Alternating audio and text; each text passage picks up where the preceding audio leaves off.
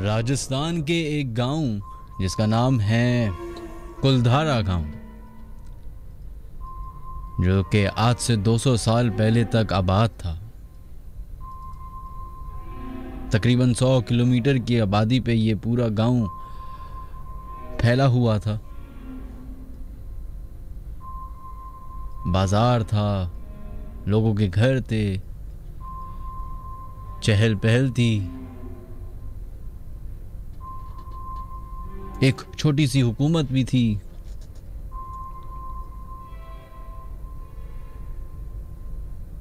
जहाँ इतनी आबादी हो रातों रात उस गाँव को खाली करना पड़ गया। और एक ही रात में कहा जाता है कि पूरा गाँव उस जगह को छोड़ के, हिंदुस्तान के मुख्तलिफ़ मुख्तलिफ़ इलाकों में चला गया।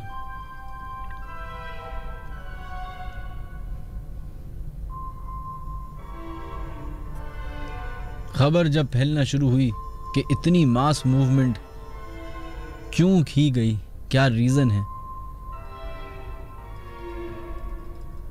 तो कई सारी कहानियाँ सामने आई।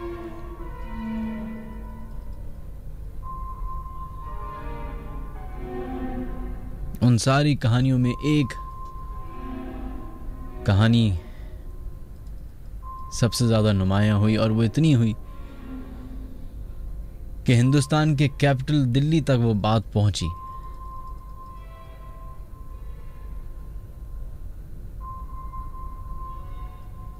कहा जाता है कि उस गाँव को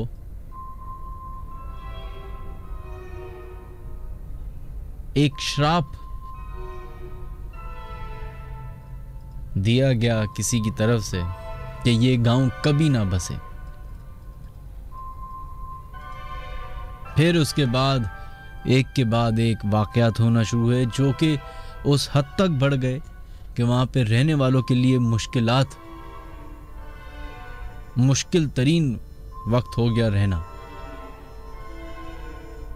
एक वक्त वो आया कि उस गाँव में रहने वाले हर घर के अंदर एक ना एक शख्स उस चीज़ से अफेक्ट हुआ हुआ था।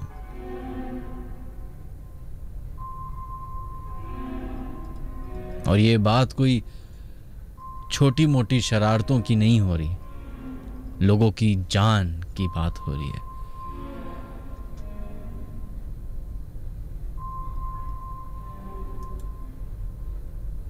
फास्ट फॉरवर्ड करते हैं। 2005 की बात करते हैं। 2005 में दिल्ली में दोबारा से ये इन्वेस्टिगेशन फ़ाइल या केस खोला गया कि आखिरकार हुआ क्या उधर। और टिल डेट वहाँ पे कोई जाता क्यों नहीं है? उस जगह को क्यों बंद कर दिया क्या है? और कोई भी अगर जाता है तो वो सिर्फ़ दिन दिन तक ही रह सकता है। रातों को उस जगह को बंद कर दिया जाता है। जो गाँव में दाखिल होने के दरवाजे हैं, वो बंद कर दिए जाते हैं।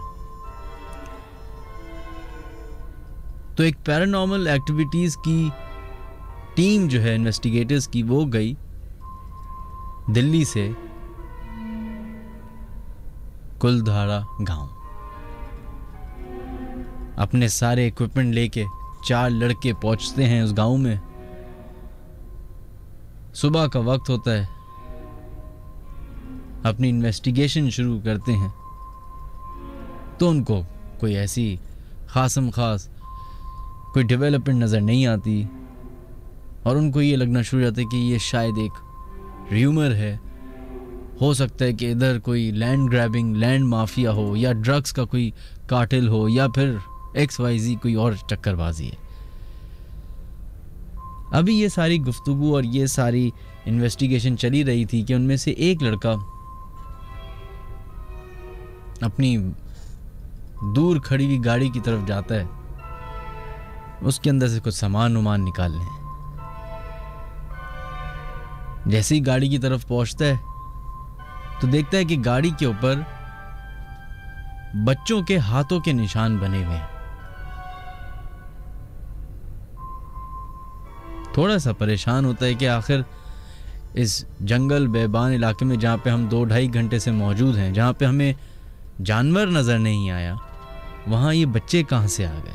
और अगर आए भी तो हमें नज़र नहीं आए अगर नज़र नहीं आए तो चलो उनकी आवाज़ तक भी नहीं आई। अभी ये शख्स अपनी गाड़ी में यही चीज़ देख रहा था कि जो पीछे मौजूद गारों में, खंडरों में जो लोग, उसके तीन दोस्त मौजूद थे उनको कुछ अजीब व गरीब फीलिंग होना शुरू हुई। अब, वक्त जो है अच्छा खासा गुजर चुका था। शाम का टाइम जो है वो अब रात में ढलना शुरू हो चुका था।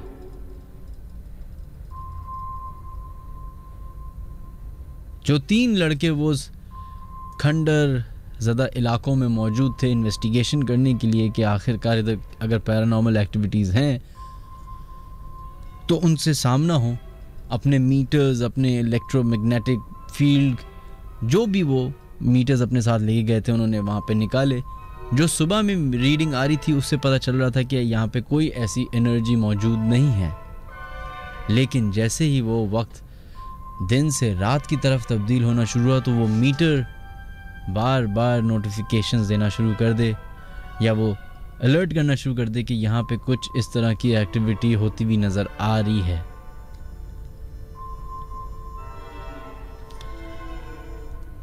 अभी ये सब यहाँ पे इस जगह पे मौजूद तीन लड़कों के साथ ये हो रहा है। सैमिल्टेनियसली वो लड़का जो गाड़ी गया है, गाड़ी में गया, पानी वानी बैग वैग लेने, अभी गाड़ी के अंदर से अपना सामान निकाल ही रहा होता है कि जैसी उसकी नज़र अपने ड्राइविंग सीट के बराबर वाली शीशे पे पड़ती है तो वहाँ पे एक उसको अजीब खौफनाक शक्ल का एक बूढ़ा शख्स गाड़ी के बाहर खड़ा हुआ नज़र आता है। उसको देख के वो अचानक से डर जाता है, घबरा जाता है। बाहर निकलता है गाड़ी से देखने के लिए कि आखिर ये है कौन इस टाइम पे। बाहर निकल के देखता है तो और मज़ीद परेशानी कि कोई वहाँ पे मौजूद नहीं होता। वहम समझ के जल्दी से अपना सामान वामान पिक करके वो अपने दोस्तों की तरफ़ जा ही रहता है कि उसको दोबारा से एक ज़ोरदार आवाज़ आती है। अपने दोस्तों की, जैसे कोई वो चीख रहे हो, चिल्ला रहे हो। वो भागता हुआ अपने दोस्तों की तरफ़ पहुँचता है।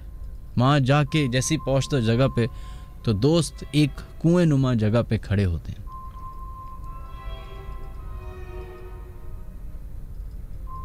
पूछता है कि आखिर ऐसा क्या हुआ? कहते हैं कि जैसे ही तुम अपनी सामान लेने उस जगह गए हो गाड़ी पे, यहाँ पीछे हमें ऐसा महसूस हुआ कि हमारे इर्द गिर्द बहुत सारी खातन मौजूद हैं और उनके चलने की आवाज़ आ रही है। और मीटर जो है वो बार बार ये बता रहे कि हमारे बिल्कुल करीब ही कोई ऐसी चीज़ें मौजूद हैं। लेकिन हम जब नज़र दौड़ा के देखते हैं तो हमें कुछ नज़र नहीं आ रहा।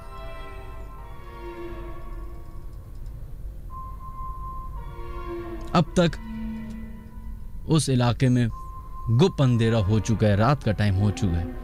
अपनी अपनी टॉर्च लाइट सर्च लाइट सब एक्टिव करके वो खड़े होते हैं कि उनको उसी कुएँ में से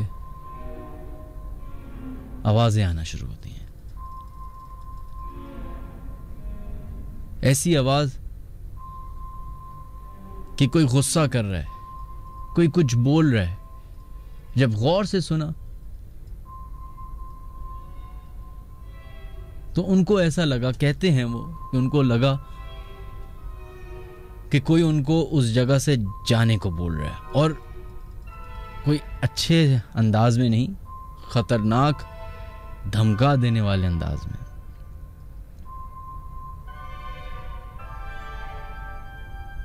दोबारा से वही फीलिंग आना शुरू होती है कि इनके इर्द गिर्द बहुत सारे लोग मौजूद हैं।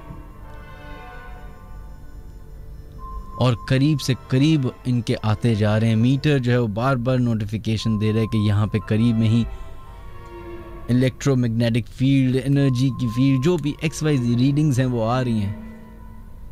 ये शख्स जो अभी गाड़ी में मौजूद था, जिसने उस शख्स को देखा था खिड़की के बाहर खड़े हुए एक बूढ़े से बच शक्ल बाबा को, वो कुएँ में झांकता है। उसको लगता है कि शायद कोई उसको नज़र आए। जैसे ही झांकता है तो उसका कोई हाथ पकड़ता है। वो डर के मारे हाथ ऊपर करने की कोशिश करता है तो ऐसा महसूस होता है कि किसी ने उसका हाथ पकड़ा हुआ है। गौर से देखता है तो वही बूढ़ा शख्स जो उस वक्त गाड़ी में उसको नज़र आया था, कुएँ के अंदर उसका हाथ पकड़े बैठा है, खड़ा हुआ है। सारे दोस्त मिलके उसकी, उस हेल्प करते हैं। और अब जो इतनी देर से उनको महसूस हो रहा था कि कोई उनके करीब में है क्लियरली उनको नज़र आना शुरू होते बहुत सारी औरतें, बहुत सारे लोग,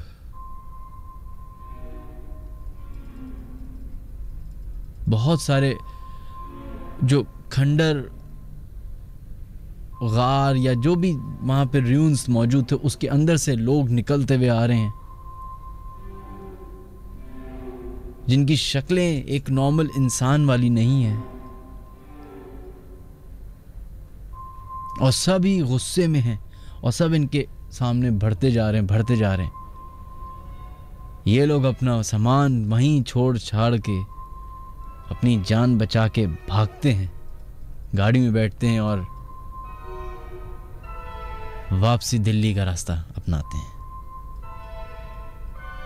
टिल डेट अगर आप चाहें तो गूगल करें। राजस्थान की डिस्ट्रिक्ट में कुलधाड़ा गाँव के नाम से ये जगह मशहूर है।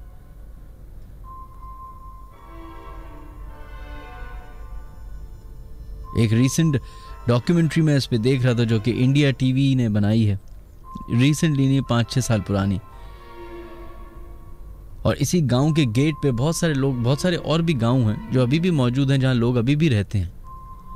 उनसे जाके लोगों ने इंटरव्यू किया। तो बकौल उनके कि दिन दिन तक तो ये जगह महफूज है लेकिन जैसे ही रात होना शुरू होती है इस गाँव के दर, इस गाँव को चारों तरफ़ से बंद किया गया है। एक बहुत बड़ा सा गेट नुमा चीज़ लगाई हुई है जैसे शाही किला का गेट है वैसे ही। तो उस गेट को बंद कर दिया जाता है। और सख्ती से हुकूमत ने उस जगह को नो गो एरिया करार दे दिया है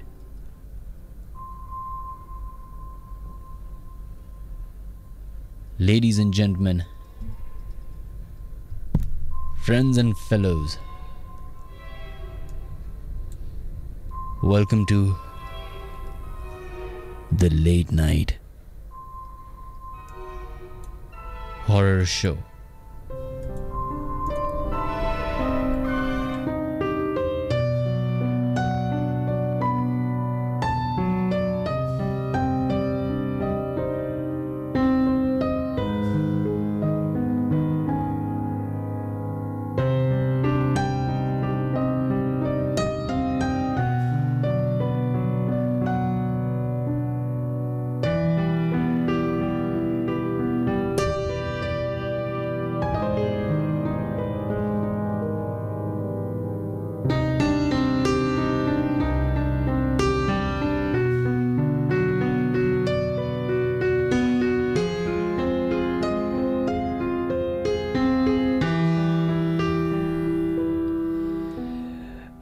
Folks, ladies and gentlemen, welcome to the late night horror show. मेरा नाम है मिनहाज अली अस्करी।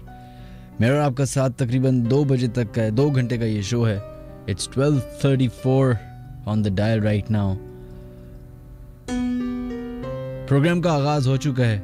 हमारे शो में शामिल होने के पाँच छः तरीके हैं जो कि हम आपसे शेयर कर लेते हैं। सबसे पहले वो तमाम लोग जो अपने मैसेजेस भेजना चाहते हैं एसएमएस के ज़रिए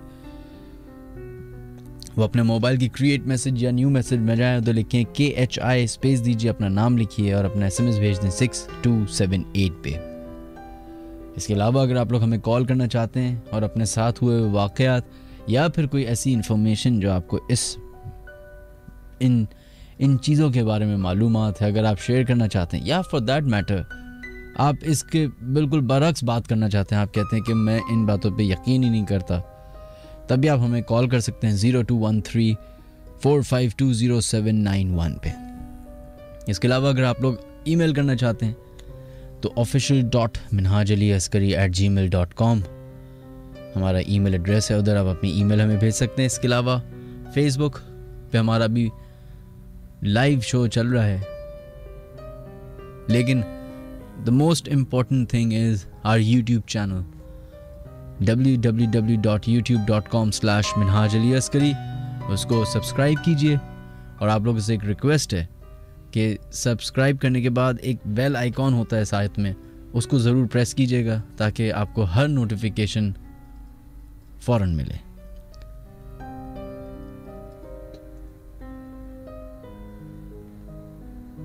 खैर, आज हम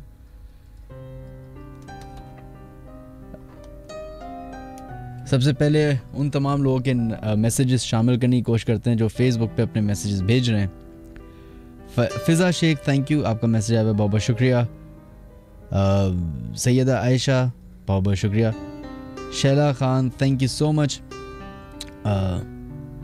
Anas Mustafa कहते हैं कि ये कौन सी जगह है राजस्थान में? कलधारा गाँव। उसकी स्पेलिंग मैं आपको बता देता हूँ। K U L D H A R A इसके नाम से सर्च कीजिए, आपको पता चल जाएगा। मंसूर खान थैंक यू आपके मैसेज का मारुख, मंसूर बहुत शुक्रिया। Rabeet Zia thank you so much and Sham, Samra thank you so much Arsal Robin, Arsala Robin, आप अगर सुन रहे हैं बहुत शुक्रिया आपका भी। And Moizul Amin thank you so much Imran, आपका भी मैसेज आया, बहुत बहुत शुक्रिया। Ali Raza thank you so much खैर जनाब वो तमाम लोग जो अभी हमसे पूछ रहे हैं कि यूट्यूब पे आपका भी शो लाइव नहीं आ रहा यूट्यूब पे शो लाइव नहीं आता। यूट्यूब पे आपको एक हमारा कल शो अपलोड होगा। और रीज़न क्या है यूट्यूब पे? आप, मैं आपको क्यों फोर्स कर रहा हूँ सब्सक्राइब करने का? वो इसलिए क्योंकि यहाँ पे ये शो या तो आप FM रेडियो पे ही सुन सकते हैं फुल अगर आपके पास रेडियो सेट है क्योंकि फेसबुक लाइव अभी थोड़ी देर में बंद हो जाएगा तो आप पूरा शो नहीं सुन पाएँगे। है वो तमाम लोग जो अपने एसएमएस भेज रहे हैं आप लोग के भी एसएमएस हम शामिल करेंगे थोड़ी देर के अंदर अंदर या फिर जो कॉल कर रहे हैं zero two one three four five two zero seven nine one पे उनके भी नंबर उनके भी कॉल्स हम शामिल करेंगे। लेकिन उससे पहले आ, ये जो हमारा एक शो का कॉन्सेप्ट है कि हम पैरानॉर्मल एक्टिविटीज़ के ऊपर बात करते हैं ये रेडियो पे आई थिंक फ़र्स्ट टाइम हो रहा है। बहुत सालों से मैं करता आ रहा हूँ। पहले कुछ कुछ लोगों ने कुछ सेगमेंट्स किए हैं, लेकिन till date if I am not wrong Pakistan की हिस्ट्री में मैं कह सकता हूँ कि किसी ने भी दो दो घंटे का straight horror show without ad without songs शायद ही किसी ने कोई शो ऐसा किया बताने का रीज़न ये है शो नहीं मार रहा। यही चीज़ हम अपने ड्राइंग रूम में, अपने कमरों में बैठ के जब बहुत सारे कज़न्स आपस में मिलते हैं या दोस्त, अहबाब मिलते हैं तो हम ज़रूर हमेशा एक कॉन्वर्जेसन का एंड का जो हिस्सा होता है वो जिन्नात पे होता है। मेरे साथ भी ऐसी होता था। दोस्तों के साथ बैठे, रात के चार बजे हुए और शुरुआत हो गई डरावनी बातें। कज़न्स के साथ बैठे, उनके साथ होना शुरू हुई। इसी तरीके से आप लोगों के साथ भी होता है। अभी एक ईमेल मेरे पास आई। सना खान है, उन्होंने अपनी ईमेल भेजी है और उनके इंटरेस्टिंग वाक्य है। आई थिंक उनका ताल्लुक कनाडा से है। टोरंटो में वो रहती हैं। तो वाक्य कुछ ऐसा है कि उनकी दादी जो है, वो पाकिस्तान जा रही थी। तो दादी ने कहा कि, बेटा, तुम हॉस्टल में रहती हो। मैं दो ढाई महीने के लिए जा रही हूँ। तो बेहतर यह कि तुम मेरे घर में आके रह लो जो कि खाली बंद रहेगा। अच्छा है, कोई देखभाल करने वाला भी होगा और तुम्हारे भी पैसे बच जाएँगे। कहा, ठीक है, ज़बरदस्त। सामान ले के वो अपनी दादी के घर में शिफ्ट हो गई। दादी आ गई, पाकिस्तान। रहना शुरू कर दिया। अभी दो चार दिन ही हुए थे। घर में चूँकि जब आप अपनी स्पेस में नहीं होते तो आपको पता नहीं होता कि आखिर इस घर में इंटरटेनमेंट के लिए क्या क्या चीज़ें हैं। तो कहती हैं कि मैं पूरे घर की अपनी सुबह जॉब पे पढ़ाई करके वापस आके जब रात में घर पे आती थी तो मेरे पास कुछ होता नहीं था। तो टीवी लगा लिया, थोड़ी देर ये कर लिया, वो कर लिया। अल्टीमेटली होता ही है कि आप अपने बिस्तर पे लेट के सिर्फ़ अपने मोबाइल पे ही बैठे रहते हैं। तो कहती है, मैं यही करने लगी। सारे घर के दरवाजे, खिड़कियाँ सब लॉक ब्लॉक करके चेक करके अपने ऊपर गेस्ट रूम में आके सो गई, लेट गई। कह रही, मैं अपने मोबाइल पे स्क्रॉलिंग कर रहा यूट्यूब अपने दोस्तों से chat S M S WhatsApp वगैरह हो रहा था। कि मुझे ऐसा फील हुआ कि कोई गेट के बाहर, घर के गेट के बाहर से कोई पुकार रहा है, कोई। कहते मैंने गौर से सुना तो मुझे लगा कि कोई हेलो बोल रहा है। मुझे अजीब सा लगा। मैं अपने गेस्ट रूम के गेट तक पहुँची तो वो आवाज़ थोड़ी और क्लियर हुई। इस दफ़ा इतनी क्लियर हो गई कि पता चला कि वो हेलो जो वर्ड था प्रिसाइसली वो क्लियरली सुनाई दे रहा था। तो कहती, मैं मेन डोर जो था दादी के घर का, वहाँ तक गई। उस वक्त तक वो आवाज़ बिल्कुल क्लियर हो चुकी थी कि गेट के दूसरी तरफ़ जो कि बाहर का हिस्सा है, वहाँ कोई खड़े होके हेलो बोल रहे हैं और कोई मिड एज खातून की आवाज़ है। कहती हैं, चूँकि मेरी दादी के घर में दरवाजे में की होल नहीं था तो मैंने साइड में लगी हुई खिड़की से छुपके से झांकने की कोशिश की। कहती, मैंने वो पर्दा हल्का सा हटाया कि किसी को पता ना चले और मैं देख भी लूँ को कौन है। तो कहती है कि मैंने जैसे ही वो पर्दा हटाया तो वहाँ पे दरवाजे की तरफ़ एक खातून खड़ी हुई। और बजाय वो खातून दरवाजे की तरफ़ देख रही हूँ, वो डायरेक्ट इस लड़की की तरफ़ देख रही है। कहती है, उसकी चेहरे पे एक अजीब सी मुस्कुराहट है। एक खौफजदा सा शहर है, चेहरा है, और वही हलो की आवाज़ आ रही है। कहती मैंने दो सेकंड में ऐसे आपका जब आई कांटेक्ट होता तो आप ज़रा शर्मिंदा हो जाते हैं। शर्मिंदा होकर मैंने सोचा कि दरवाज़ा खोलूं, लेकिन ख्याल आया कि रात के दो तीन बज रहे हैं। अगर दादी की कोई दोस्त भी है तो वो दो तीन बजे क्या कर रही है? कह रही मैं एक इग्नोर करके जल्दी से अपने ऊपर वाले गेस्ट रूम में दोबारा गई, दरवाज़ा लॉक किया और बिस्तर पे आके बैठ गई। और अपने कज़न्स को, जो भी मेरे दोस्त हैं, उनको मैसेजेस करके बताया कि ये ये मेरे साथ हो रहा है।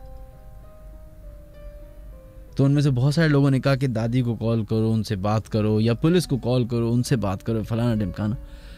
अभी ये सब बातें हो ही रही थी कि उसको फील हुआ कि वो आवाज़ आना बंद हो गई। थोड़ी देर में वो जो भी सिचुएशन बनी हुई थी, वो भी काम डाउन हो गई।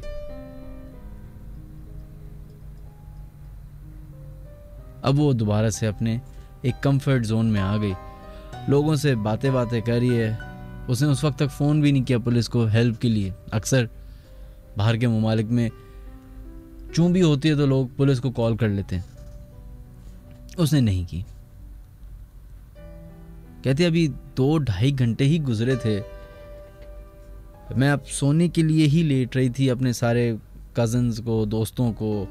फेसबुक ट्विटर इंस्टाग्राम ये सब चीज़ें करने के बाद अभी कहती मैं अपने कंफर्ट जोन में आई थी कि अचानक से मुझे मेरे ही कमरे में जो मौजूद खिड़की है, उधर से नॉक करने की आवाज़ आना शुरू होती है। ऐसा लगता है कि जैसे कोई नॉक कर रहा है।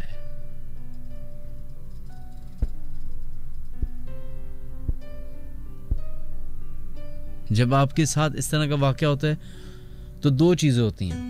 ह्यूमन नेचर है कि या तो आप फ़ौरन डर जाते हैं, और उस रिएक्शन में आप या तो अग्रेसिव हो जाते हैं, या फ़ौरन भागते हैं। और 90 परसेंट होता है आप अग्रेसिव हो जाते हैं। तो कहती मैं दो मिनट तक तो सुनती रही कि ये आवाज़ आ कहाँ से रही है? कहती है, मुझे लगा कि ये खिड़की से आवाज़ आ रही है। जैसी वो आवाज़ आई है उसने दरवाज़ा, वो पर्दा हटाया है तो कहती कि मेरी दूसरी तरफ़ वही औरत जो कि अभी नीचे थी, सामने खिड़की की खड़ी हुई है। अब कहते हैं कि हमारे बीच में सिर्फ़ एक शीशा है, दूसरी तरफ़ वो औरत है with that smile with that ugly face और शीशे के इस तरफ़ सना साहब है।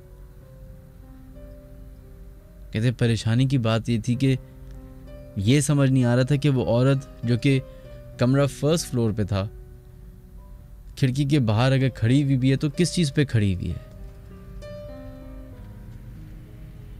तो उसने वहाँ ही पे शोर मचाना शुरू कर दिया कि अगर कोई इंट्रूडर है, आप होते ना, आप वार्न करते हैं कि मैं पुलिस को बुला लूँगी, ये फलाना ढिमकाना। कहते वो पर्दा मैंने बंद किया और मुझे आवाज़ आए पे आए जाए। मैं अपने कजन्स को कॉल की, अपने दोस्तों को कॉल की। और थोड़ी देर के बाद वो आवाज़ आना बंद हो गई।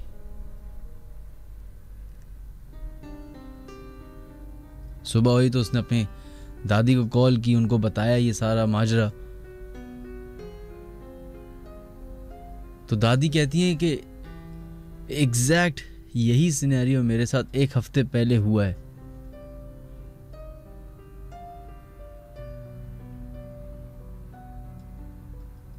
तुम्हें चाहिए कि इस घर को फ़ौरन छोड़ दो। बहुत बहुत शुक्रिया सना थैंक यू ये ज़रा एक लंबी ईमेल थी, इसलिए हमें शामिल करनी पड़ी। थैंक यू सो मच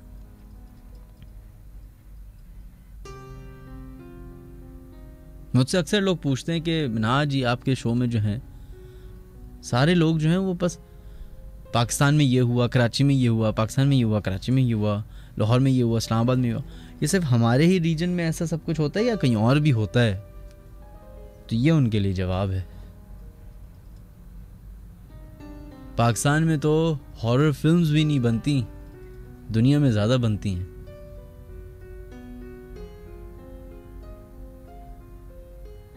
ये कॉन्सेप्ट सिर्फ़ पाकिस्तान या इंडिया या बांग्लादेश का नहीं है, ये एक यूनिवर्सल बात है, एक यूनिवर्सल ट्रुथ है। सिर्फ़ हम ही इस दुनिया में मौजूद नहीं है।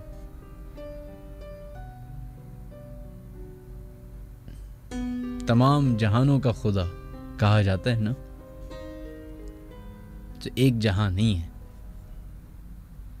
और भी कई चीज़ें हैं खुदा की इबादत करने के लिए।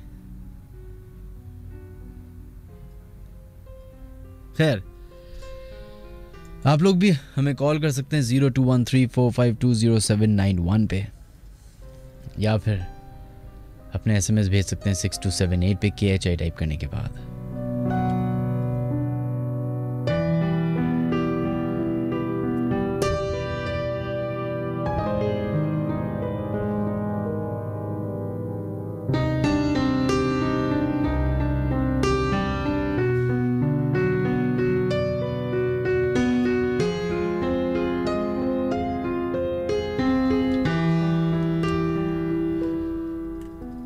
चलें जनाब अब उन तमाम लोगों से रिक्वेस्ट है फेसबुक पे जो हमारा शो सुन रहे हैं।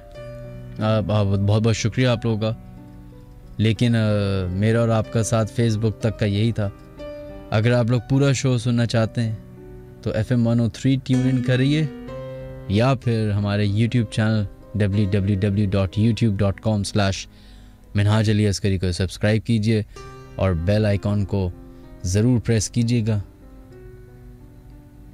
कल की तारीख में ये एपिसोड अपलोड हो जाएगी।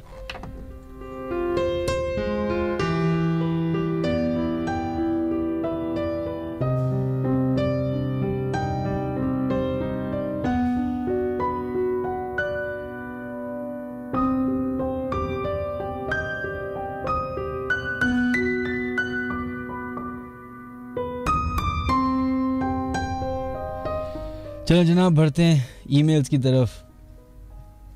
Mister, hi mister Askari. Sukkur के जन्नाती रोड पर मौजूद एक हॉन्टेड स्कूल में रात भी गुजार आया। शमशान ग्रेवयार्ड की खाक भी छान ली। न्यू कराची इंडस्ट्रियल एरिया में वाक़ एक हॉन्टेड फैक्ट्री में भी as a supervisor night shift की और औरंगी की उस साइड भी नाइट स्टे किया जहाँ पे जहाँ से बलूचिस्तान शुरू हो जाता है। एक पहुँचे हुए बुज़ुर्ग से भी खुद पर हाजिरी लाने की इल्तिजा की कुछ रकम की एवज, लेकिन आधा घंटा, लेकिन एड़ी चोटी का ज़ोर मार कर भी फाइनली उन्होंने मुझे ना उम्मीद किया। वेल कारसाज वाली ब्राइड से मिलने के लिए दस हज़ार चक्कर काटे रातों को, लेकिन आपकी बात से 110 फ़ीसद सहमत के वहाँ ऐसा कुछ भी नहीं है। मेरे दादा जन्नात को कुरान की तालीम देते थे ये भी सुना है अपने बड़ों से। अब्बू और मामू को मलिर रेलवे फाटक पर सर कटा मिला, ये भी सुना। माजरत पर स्किट्जोफेनिया से मुतासर पेशेंट्स को भी देखा। मेंटल हॉस्पिटल्स भी विज़िट कर चुका। मिस्टर अस्करी, सर तोड़ कोशिश की और ऑब्जर्वेशन के बावजूद भी मेरा इस मखलूक से कभी कोई इनकाउंटर ना हो सका। मैंने फिर इनकी, इनका मज़ाक भी उड़ाया। आप अपने हर प्रोग्राम में ऑलमोस्ट एंड में यही तनबी करते हैं कि इनका मज़ाक नहीं उड़ाना चाहिए, लेकिन सिर्फ़ और सिर्फ़ मिलने की चाह में इनसे मैंने उनका मज़ाक उड़ाया। Well I have many logical questions but mail लंबी हो जाएगी एंड आई बिलीव आंसर्स भी ना मिल पाए। काइंडली मुझे उन लोगों से सिर्फ़ ये तीन सवाल पूछ के बता दीजिए, जिनके पास इन वाक़ात का स्टॉक है। कि ये जो मखलूक इन्हें दिखती है, ज़ाहिर है किसी लिबास में ही होती होगी।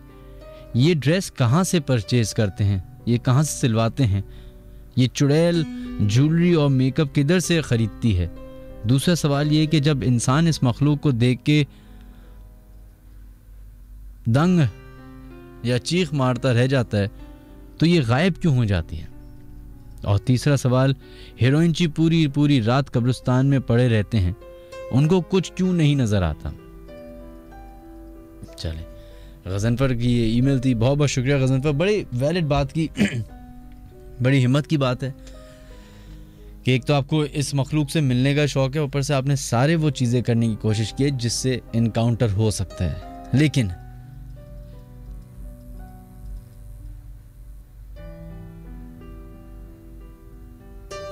जो सवाल आपने किए हैं कपड़े कहाँ से बाय करते हैं? या आई डोंट थिंक सो कि ये कोई इतना रेलिवेंट सवाल है क्योंकि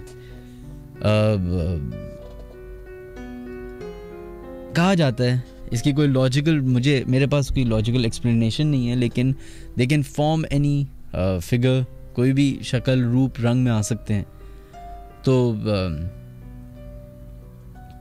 एक तो ये आपका सवाल हो गया, कि इसमें कोई कपड़े मैटर नहीं करते।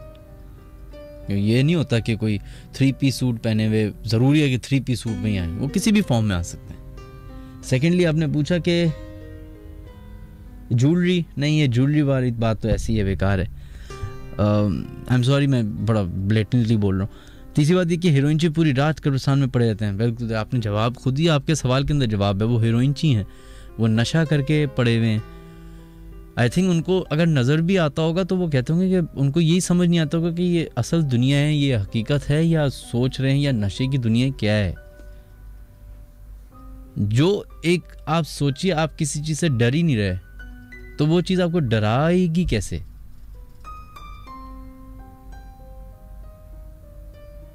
आप कह रहे हैं आपको जिन्नात से मिलने का शौक है, आपको डर ही नहीं लग रहा? ये एक एक्सप्लेनेशन है लॉजिकल मुझे नज़र आती है।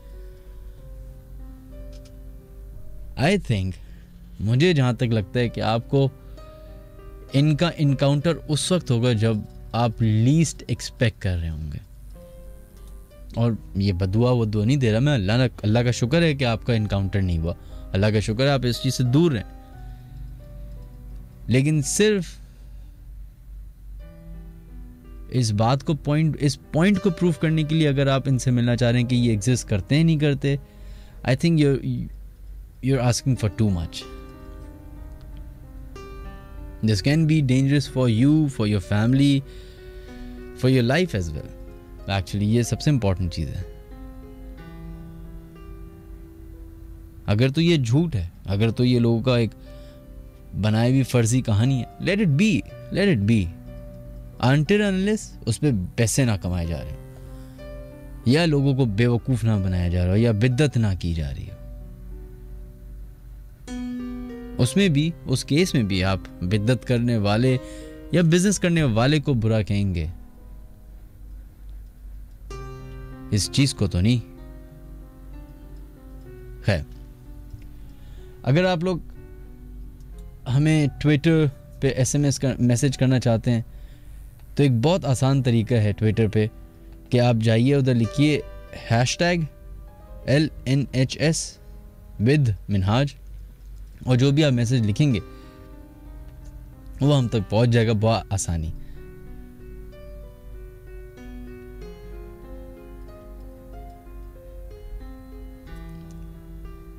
इसके अलावा, जो लोग हमें एसएमएस कर रहे हैं, उनके नाम शामिल करते हैं। सलाम मिनहाज नोशी फ्रॉम कराची मैं फ़र्स्ट टाइम आपका शो सुन रही हूँ। वो कह रही कि कोई सैड सॉन्ग लगा दें। बीबी हमारे शो में गाने नहीं लगते। आई एम सॉरी मैंने आपका दिल तोड़ दिया इस बात पे। कोई और, किसी और का शो सुन लें, वो गाने लगा देंगे। नरमीन खान, मिनहाज, आप कैसे हैं? मैं बिल्कुल ठीक हूँ। हफ्ज़ा अली बहुत बहुत शुक्रिया। Hello Minhaj this is Huda. Because of your show I got so much knowledge about this paranormal activities अच्छा हुदा, मेरी वजह से आपको नॉलेज मिली है? फेयर इनफ गुड लेकिन खुद भी रिसर्च कीजिएगा, मेरी बातों को ना, बस अंधाधुन ट्रस्ट मत कीजिएगा। गलत हो सकती हैं। खिजर आपका मैसेज आया है। बहुत बहुत शुक्रिया। Shah Murad thank you so much I am Bashir Ahmed thank you साथ, आपका भी मैसेज आया है। थैंक यू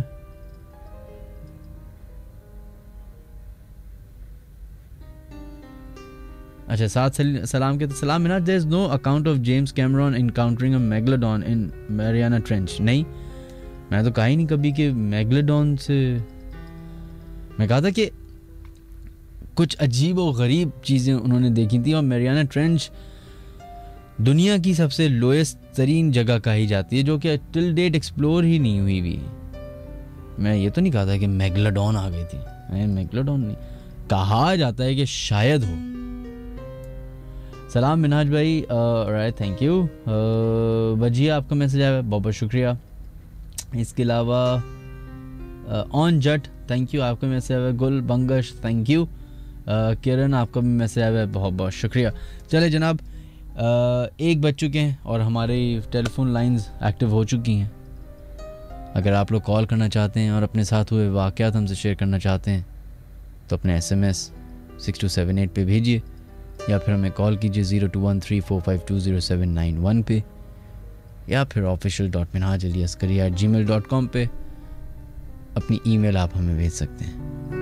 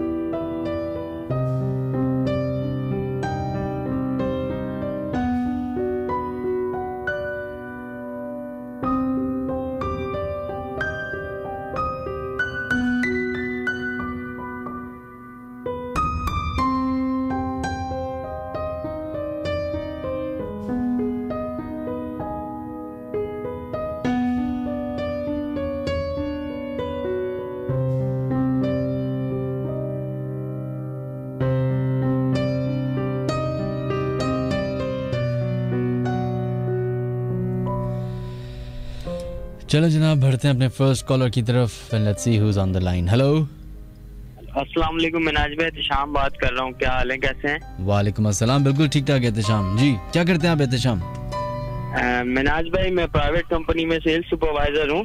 हम्म, हम्म। अच्छा और आपका इन बातों पे यकीन है? जी मैं अभी फ्री हूँ मगर मैं ये बोल रहा हूँ मेरे साथ एक वाक्य पेश आया है ना मेरे अपने फ्लैट में जौहर के ना। जिसमें अभी आप रहते हैं उधर? नहीं अभी मैं नहीं रहता तकरीबन आज से कोई तीन साल हो गए हमने शिफ्ट कर दिया उस घर से ना। सही और मगर हेलो जी जी बोलिए बोलिए। मगर इस तरह का कोई मेरे साथ इंसिडेंट ये पेश नहीं आया कि मतलब कि कोई किसी ने हमें डराया हो या कुछ किया हो। बस एक इस तरह के वाकयात होते थे कि जिस तरह मेरे उस रूम में मेरा पर्सनल वो ही रूम था ना जिसमें मतलब मुझे बकायदा महसूस होता था कि कोई मेरे सराउंडिंग में घूम रहा है। ये बात सिर्फ़ मैंने ही नोट नहीं करी मेरा एक कज़न होता था मेरे साथ आगे स्टे करता था वो बहुत ज़्यादा। तो उसको भी फील होता था। और मतलब मेरे टेरिस में बर्ड्स वगैरह रखे होते थे ना तो एक तोता था उससे पापा सुबह जब फजर में उठते थे ना तो वो बात करते थे। तो बकायदा अक्सर सुबह एक मुझे। हेलो जी जी। तो एक दफ़ा ऐसा हुआ कि पापा की आवाज़ में कोई उससे ना कॉकटेल तोता था एक हमारे घर ना वो अल्लाह अल्लाह बोलता था ना। तो उसको आवाज़ आ रही है मिनाज में मेरी आपको? जी जी बोलिए बोलिए। आप एक बात बताइए अच्छा। जी। तो ये आपके वालिद साहब जो है तोते से बात करते थे। मतलब इसी तरह उसको बोलना सिखाते थे ना। वो बहुत छोटा आया था हमारे घर में ना। तो वो बस सीख गया था दूसरा एक ग्रीन पैरेट भी था हमारे घर में वो बोलता था बस वो सिर्फ़ अल्लाह अल्लाह करके बोलता था ना। वो भी सुबह सुबह के वक्त में कभी कभी बोलता था बहुत कम बोलता था ना। तो उसकी हेलो? बोलिए बोलिए। हाँ तो मतलब मुझे ऐसा फील हुआ कि पापा उसके साथ ना कन्वर्सेशन कर रहे हैं अपनी उससे कुछ बोल रहे हैं। तो मैं गुस्से से उठ के गया मैं क्योंकि बिल्कुल मेरे जो रूम की खिड़की थी वो उसी तरफ़ रखे हुए थे ना। तो बर्ड्स जो भी थे तो मैंने उनको बोला मैंने बोला पापा मतलब मैंने कहा जाके बोलूँ कि यार ये टाइम कोई आप इनसे बात कर रहे हैं इस वक्त। तो हम्म, फिर जब मैं जाके देखता हूँ तो हेलो जी जी। आपकी आवाज़ बहुत ड्रॉप हो रही है मुझे ना समझ नहीं आ रही नहीं नहीं आप बोलते रहिए आपकी आवाज़ सही आ रही है। अच्छा तो वो इस तरह होता है कुछ के जैसे ही मैं जाके देखता हूँ टेरेस में। मेरे रूम की खिड़की टेरेस में ही खुलती थी और जिधर बर्ड्स थे। हम्म, तो वहाँ कोई भी नहीं था। और फिर मैंने आके घर में पापा को देखा उनके रूम में। वो सो रहे हैं घर में सब सो रहे थे। मैं शॉक हुआ खैर मैंने इग्नोर कर दिया ना इस बात को। हम्म, फिर जब हम लोग शिफ्ट कर रहे थे वो घर तो आ, मतलब हमारे घर में पूरा पूरा सामान एज इट इज़ पड़ा हुआ था रखा हुआ था। बिल्कुल सारा सामान पैक था। बस हमने शिफ्ट करना था एक आध दिन में। तो हम्म। हमारे पड़ोस से फ़ोन आया कि यार आपके घर में बहुत ज़्यादा पानी बह रहा है तो आप काइंडली जाके देख लो। तो हम मसरूफ थे तो मेरा छोटा भाई फ्री था वो गया ना घर पे। हम्म, तो उसने बकायदा देखा कि पानी हमारा सामान रखा हुआ है और पानी जो है ना सामान से साइड साइड से होके गैलरी में जा रहा है। सही। और फिर जैसे ही वो आगे की तरफ़ गया ना तो मेरे रूम से एक लड़का निकलता है बकायदा। ये उनका आँखों देखा वाक्य है और वो वापस भागे हैं ना बाहर की तरफ़। तो मगर वो गेट पे आके खड़े हो गए। उसने कहा, यार ये तो बिल्कुल इंसान था कोई चोर वोर तो नहीं है मगर लॉक तक घर में कोई रास्ता ही नहीं था आने का। तो खैर वो परेशान हुआ। उसने अंदर वापस रूम में गया जब जैसे घर में आया तो देखा वो स्टिल उधर ही खड़ा हुआ मेरे रूम के गेट के पास। ना बोलते है क्या हुआ जा रहे हो तुम? तो उसने बोला हाँ मेरे भाई ने कहा हम जा रहे हैं घर शिफ्ट कर रहे हैं ना। हम्म, तो बोलता है चलो ठीक है सबको मेरा सलाम देना और अपना ख्याल रखना। मतलब ये उसकी बात हुई है और ये बोल के वो वापस मेरे कमरे में गया तो मतलब वो अचानक ही गायब हो गया ना वो लड़का था बिल्कुल यंग लड़का था भाई बता रहा है। और बकायदा मैं इस तरह भी होता था कि मेरे रूम में कुछ गिर रहा है कुछ आगे पीछे की आवाज़ें आ रही है ना जिस तरह। तो मैं कोई भी चीज़ मेरे हाथ में होती थी तो मैं बोलता था यार प्लीज़ देखो ये मारूँगा ऐसा नहीं करो तंग नहीं करो लेट नाइट आया हूँ सोने दो ना। तो वो आवाज़ें खामोश हो जाती थी। मगर इस तरह मुझे किसी ने वो तंग नहीं किया।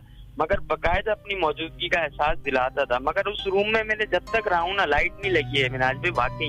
लगती थी तो यकीन करें बल्ब और सेवर दूर दूर आके दीवार पे दूसरी दीवार पे टकरा के टूटते थे। मगर नहीं लगाते थे। मगर चेक भी करवाया इलेक्ट्रिशियन को बुला के खुद चेक भी करा तो कुछ नहीं था। मगर और ये आप मुझे अपार्टमेंट का नाम तो नहीं बताएँ लेकिन उसके करीब तरीब जगह मशहूर जगह बताएँ। मिनहाज भाई ये ब्लॉक सेवन में नारियल बाग है। पहले हुआ करता था अब तो खैर वो है नहीं। अभी अपार्टमेंट्स वगैरह बन गए। उससे नज़दीक ही अपार्टमेंट है ना ये ब्लॉक सेवन में अपार्टमेंट है। अच्छा। और अभी भी वहाँ कोई लोग रहते हैं या खाली पड़ा हुआ है? जी जी जी। अभी भी वो वहाँ लोग रहते हैं और उस घर की हिस्ट्री रही है कि उधर जो भी आया है ना मतलब जिस तरह अगर कोई परेशान हाल में आया है तो वो जब वहाँ से शिफ्ट करके गया है तो मतलब उसकी लाइफ स्टाइल ही चेंज हो गई और ये वाकई हम लोगों के साथ भी हुआ है। और जो अभी भाभी वहाँ रह रही है हमारी जान पहचान वाली हैं वो पड़ोस में रहती थी। पहले अब उन्होंने वो घर परचेज कर लिया था तो मतलब अब वो उधर रह रही है ना। मगर अभी भी जो है ना मतलब वो वो तो खैर अकेली होती है अपने एक बच्चे के साथ। परेशानी कोई नहीं होती। मगर ये है कि इस तरह महसूस बकायदा होता है कि कोई है वाकई वो सिर्फ़ उसी रूम में महसूस होता है। सराउंडिंग में बैठ के चारों तरफ़ कोई घूमेगा वॉक करेगा जिस तरह पाँव से कोई चीज़ें लाता है जिस तरह शॉपर हो गया इस तरह की चीज़ ऐसे लग रहा है कि कोई शॉपर कमरे में सराउंड में घूम रहा है बैठ के मगर देखो तो कुछ भी नहीं है। तो आप लोगों ने वो जगह क्यों छोड़ी फिर? वो थोड़े से मामला थे हमारे हमें शिफ्ट करना था घर छोटा पड़ता था फिर इसलिए हमने चेंज किया तो हमें बड़ा घर लेना था तो इसलिए हमने चेंज करना था वो। अच्छा। चलें बहुत बहुत शुक्रिया आपका Ehtesham thank you thank you अल्लाह हाफिज़ अल्लाह हाफिज़।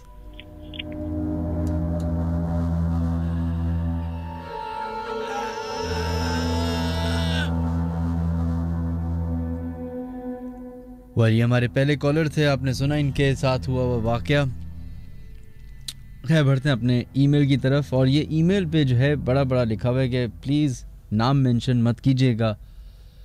तो अब आप समझें कि जो भी मैं आपको इस ईमेल में नाम बताऊँगा, वो फ़र्ज़ी नाम होगा। लेकिन जो वो है, अपना अल्लाह भला करे वाक़ है, वो असल है। कहते अस्सलाम वालेकुम Minhaj I want to share an incident that happened with my sister and mother few days back, my sister saw me coming out of washroom and asked my mother what, why asad hasn't gone to his office. On which my mother replied that asad is in his office right now. My sister was scared to hear this as she was convinced that she saw me coming out of washroom while i was in the office. Also my sister saw a weird creature jumping on a mattress next to her in the middle of the night and my mother heard someone calling her name while no one was at home. These incidents have been happening since last few years me and my brother always used to took it lightly but this time we contacted a person and his words shocked us he said आपके घर किसी ने काला जादू करवाया है ये अभी तो नुकसान नहीं पहुंचा रहे लेकिन वक्त आने पे ठीक ठाक नुकसान पहुंचा सकते हैं My brother and I did not told this to anyone in our house. I don't believe in such stuff, but the person contacted was trustworthy. He is an alim deen and an educated person.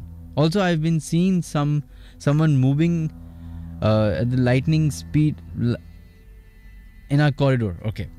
कहते हैं कि मुझे कोई corridor में बहुत तेज move होता हुआ नज़र आता है we are still we still live in this house they haven't harmed us but they have shown their presence. Surah Bakra is one of the best antidote for black magic. चलें। आप अ, असद जो कि हमने नाम चेंज किया है अगर आप हमारा प्रोग्राम सुन रहे हैं ज़रूर मुझे बताइए कि ये कौन सी जगह है किधर है? और अगर आप इजाज़त दें तो मैं अगर आके देख सकूँ आपका घर तो it will be quite interesting खैर आप में ईमेल कर सकते हैं अगर आप इसको सही समझें। खैर चलें नेक्स्ट ईमेल की तरफ़ बढ़ते हैं। अस्सलाम वालेकुम मिनहाज। मैं भी आपसे एक वाक़या शेयर करना चाहती हूँ। ये बात आज से दो साल पुरानी है। जब मैं क्लास नाइन्थ में थी, मेरे ताया की बेटी सबा बाजी पर जिन्नात आए हुए थे। ये सुना था। पर क्योंकि उस वक्त छोटी थी तो इतना सेंस नहीं था। उन्हीं दिनों मेरी दादी की बहुत तबीयत ख़राब थी। वो हॉस्पिटल में एडमिट थी। मेरी बड़ी बहन उनके पास रुक गई हॉस्पिटल में। मैं वहाँ से जब वो डिस्चार्ज हुई तो मेरी सिस्टर भी दादी के साथ ताया के घर चली गई। और मेरी कज़न की तबीयत तो ख़राब थी। दो दिन, दो तीन दिन बाद रात को दस बजे मेरी बहन ने दादी को फ़ोन करके कहा कि आप अभी मुझे लेने आए। सर्दियों के दिन थे और उनका घर बहुत दूर था। हमारे घर से तकरीबन डेढ़ घंटे का फासला था। तो वालिद ने कहा कि हम सुबह आएँगे, लेकिन वो डर रही थी। तो हम घर से निकले बारह बजे के करीब। हम वहाँ पहुँचे, लाइट नहीं थी। ना जनरेटर था, ना टॉर्च लाइट थी, ना टॉर्च लाइट जल रही थी। जो बहन वहाँ मौजूद थी लाउंज में नमाज़ पढ़ रही थी। हम वहीं सोफे पे बैठ गए और बातें करने लगे। नमाज़ पढ़ते पढ़ते वो ज़ोर शोर से हिलने लग गई। और फिर तेज़ आवाज़ में नमाज़ पढ़ने लग। गई उनकी आवाज़ बिल्कुल आदमियों जैसी हो गई थी। नमाज़ ख़त्म की, फिर दुरूद शरीफ पढ़ने लग गई और कहा कि मेरे साथ पढ़ो, हम सब पढ़ने लग गए। हम तकरीबन दस लोग वहाँ मौजूद थे। सब बहुत डर गए थे। उनका भाई कुछ कस्में वगैरह देने लगा तो उनकी हालत और ख़राब हो गई और उन्हें चुप करवाते रहे। उस जिन ने अपना नाम अब्दुल्ला बताया था। ये सब मैंने खुद अपनी आँखों से देखा। जब भी उन पे हाजिरी होती तो उनसे जो बात पूछो वो बिल्कुल ठीक बताती थी। मेरी एक कज़न की कुछ पैसे कुछ पैसे खो गए थे तो उन्होंने बता दिया कि किसने उठाए। मैं बहुत बीमार रहती थी, मेरी दादी ने वजह पूछी तो उन्होंने कहा कि इसका कोई एक नाम भी तो नहीं है। और ये हकीकत है। सब अलग अलग निक नीम से मुझे पुकारते हैं। उन लोगों के घर कुछ मेहमान आए, उन्होंने बेल भी नहीं बजाई थी कि उस, उन जिनमाए का महानु, चलें, ये उजाला हैं जिन्होंने अपनी ईमेल भेजी है। प्लीज़ आप लोगों से एक रिक्वेस्ट है, हर दफ़ा करता हूँ। ईमेल भेजने में आप टाइप कर लें, उसके बाद उसको दोबारा पढ़ लें। क्योंकि मुझे जब पढ़ना होता है तो बहुत मुश्किल हो जाती है और लोगों का इंटरेस्ट ख़त्म हो चुका होता है। तो प्लीज़ काइंडली आप लोगों से रिक्वेस्ट है कि और ये जो अजीब आजकल ज़बान शुरू हो गई ना अजीब पता नहीं नए लोग क्या कैसी क्या ज़बान लिखते हैं? आधे आधे अल्फाज लिखते हैं समझते हैं कि हर कोई इतना इंटेलिजेंट है। भाई मैं तो इंटेलिजेंट नहीं हूँ। तो आप लोग प्लीज़ पूरे पूरे अल्फाज लिखा करें ये पे ते टे अजीब पी वाई पी वाई का क्या मतलब वो पाए। खैर उजाला फिर भी आप आ, हमें दोबारा अगर लिखना चाहें प्रॉपर तरीके से लिख के भेजिएगा और तमाम लोगों से रिक्वेस्ट है प्लीज़ कि आप लोग भी भेजने के बाद, भेजने से पहले एक दफ़ा दोबारा पढ़ लिया कीजिए। खैर zero two one three four five two zero seven nine one वो नंबर है जहाँ पे आप लोग कॉल कर सकते हैं।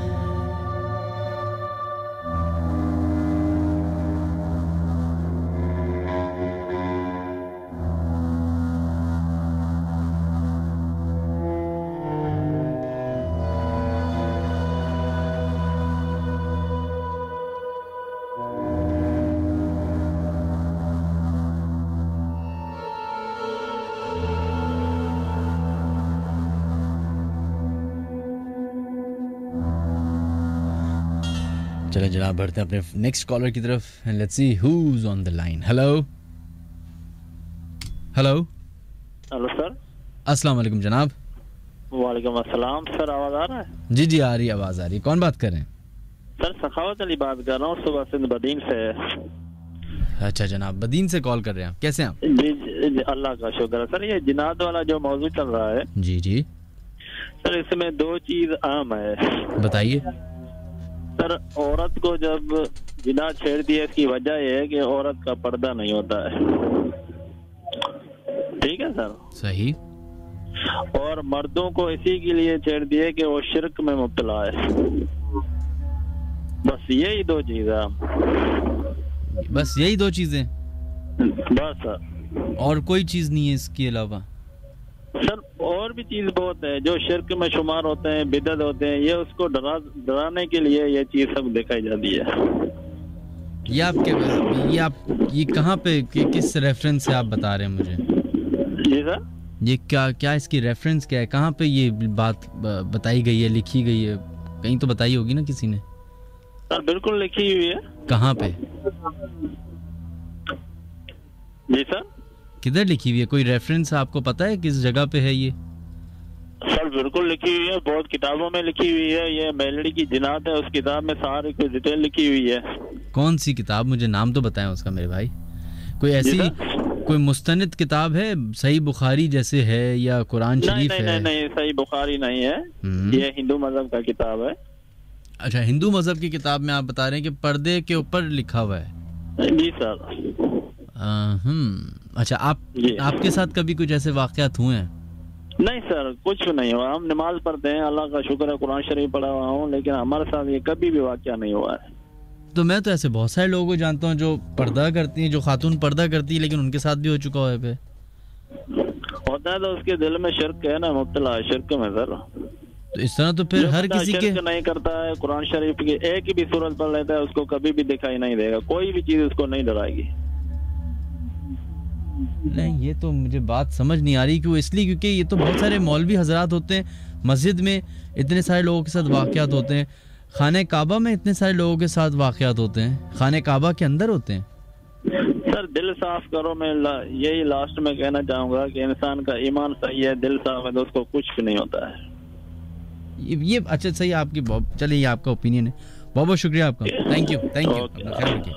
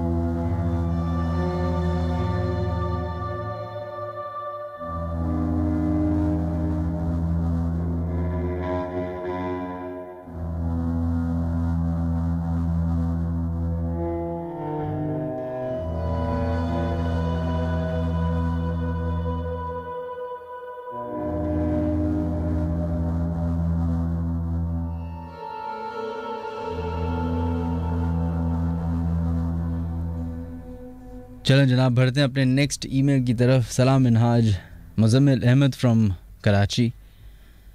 मिनहाज, मैं आपको अपने एक दोस्त का वाक़ बताना चाहूँगा। जिस वक्त साथ में ख़ुद भी था। हमारी तरफ़ गवर्नमेंट नाबीना स्कूल है।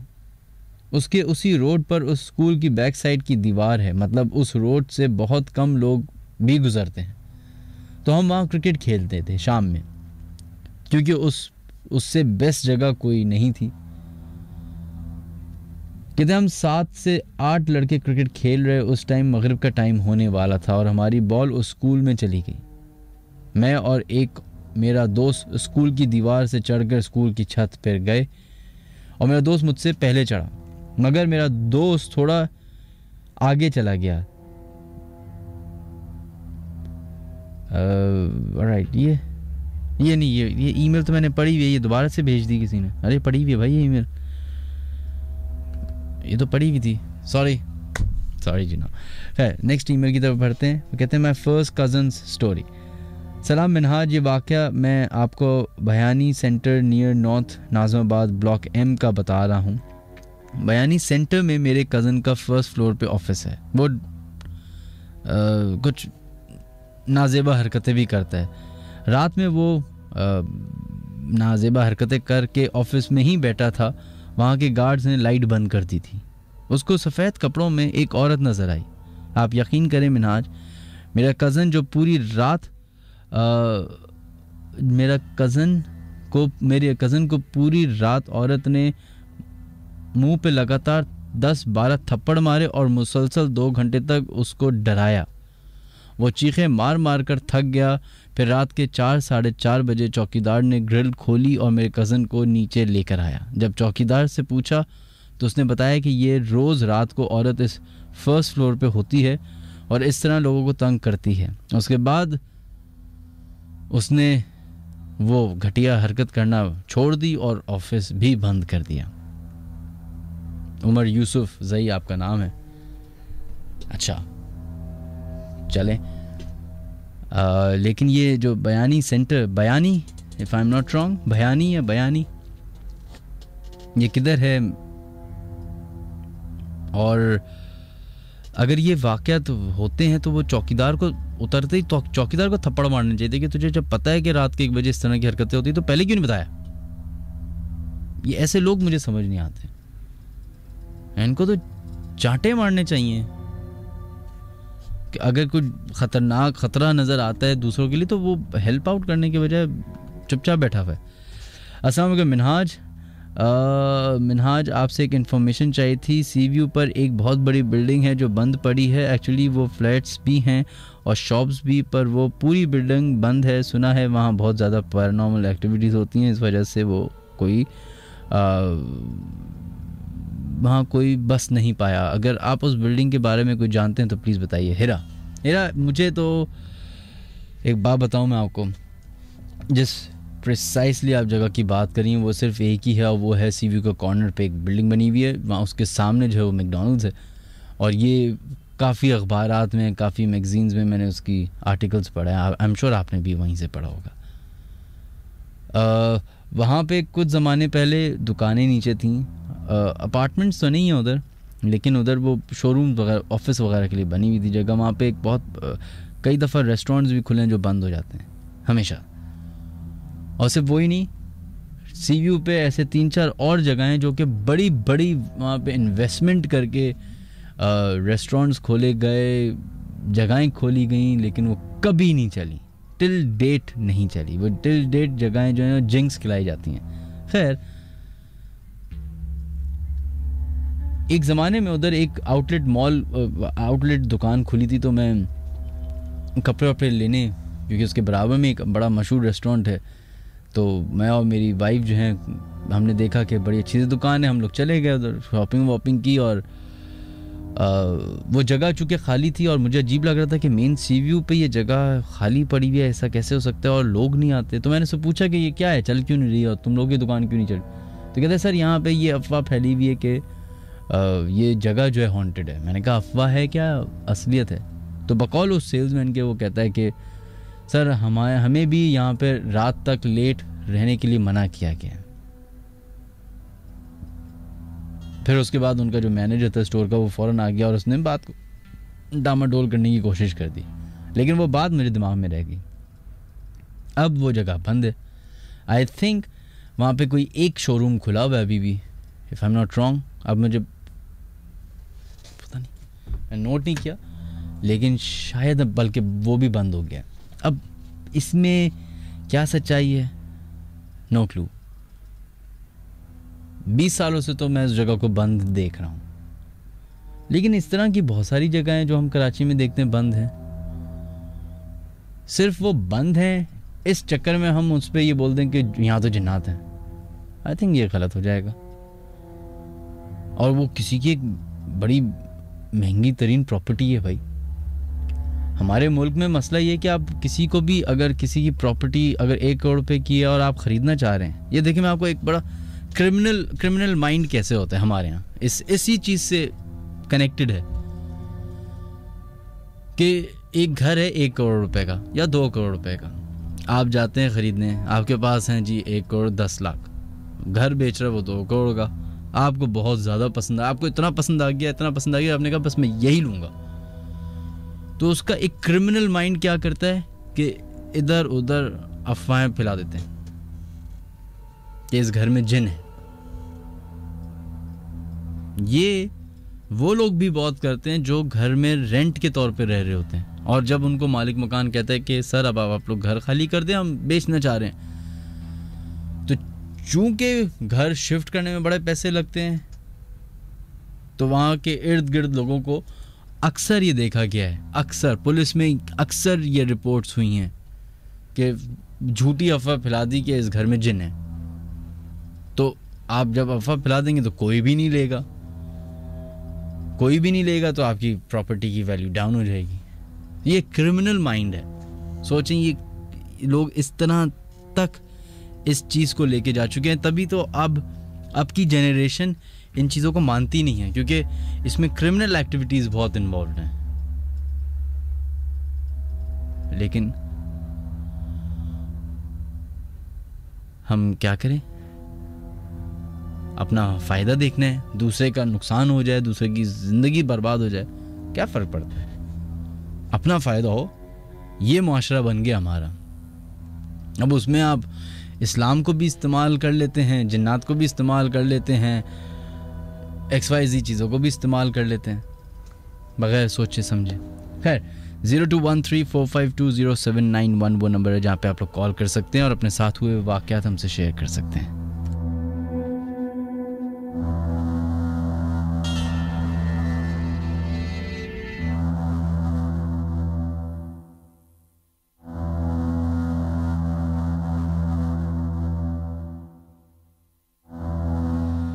चलो जनाब, भरते हैं आज आज का जो शो है थोड़ा सा डिफरेंट है आई एम श्योर क्योंकि बहुत सारे टैबूज़ हैं जिसको हमें, ये मेरी रिस्पॉन्सिबिलिटी भी है कि थोड़े से टैबूज़ को भी ज़रा हमें टच करना चाहिए।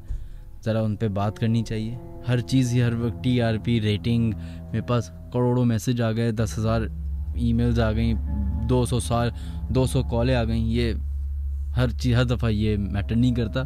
बढ़ते अपने नेक्स्ट कॉलर की तरफ़ let's see who's on the line hello hello वालेकुम अस्सलाम जनाब कौन है वहाँ से लाइन पे मौजूद? Sir my name is Syed Zubair Ali and this is the first time I am calling you मैं आपका काफ़ी uh, काफ़ी टाइम से लिसनर लाइक आप एट इयर्स पहले से शो करते हुए आ रहे हैं और मैं आपका साइलेंट लिसनर था.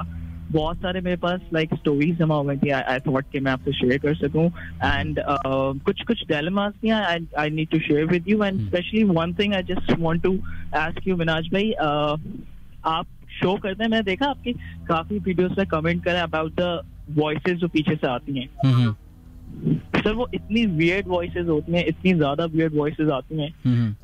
I I I you know I just don't understand ये कैसे होता है। आप फील नहीं करते और हमें बैकग्राउंड पे बहुत ज़्यादा वो स्केरी स्क्रीम्स आती हैं इनफैक्ट हम्म, नहीं मुझे भी कभी कभी आती है लेकिन आई डोंट नो मैं जिस जगह पे मौजूद हूँ वहाँ पे हज़ारों ऑफ़िस हैं।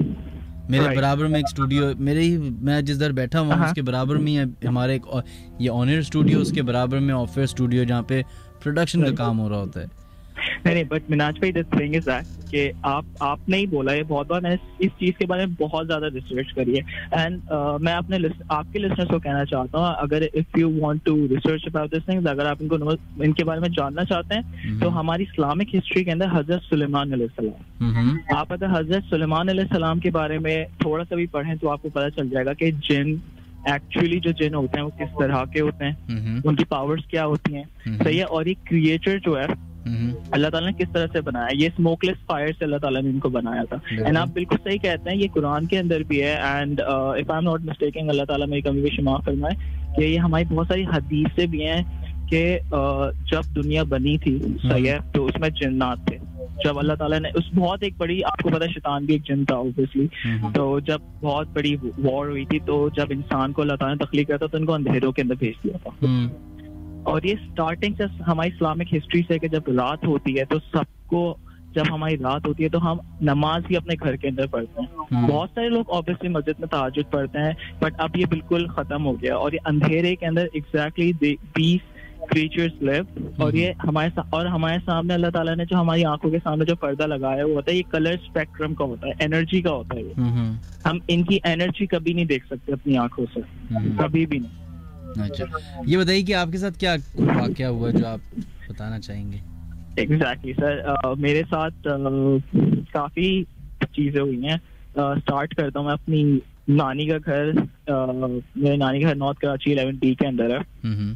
तो it's a very big house दो प्लॉट्स पे ये हमें बनाया था तो हुआ कुछ इस तरह से था। काफ़ी पहले की बात है। अच्छा मेरे बहुत सारे जो मामू हैं वो सब uh, बाहर रहते हैं। Mm-hmm. तो मेरे नाना घर पे थे my cousin was there and ये इस तरह से था कि एक बहुत बड़ा सा लाइक फ़र्स्ट फ्लोर है हमारा फ़र्स्ट फ्लोर पे थे।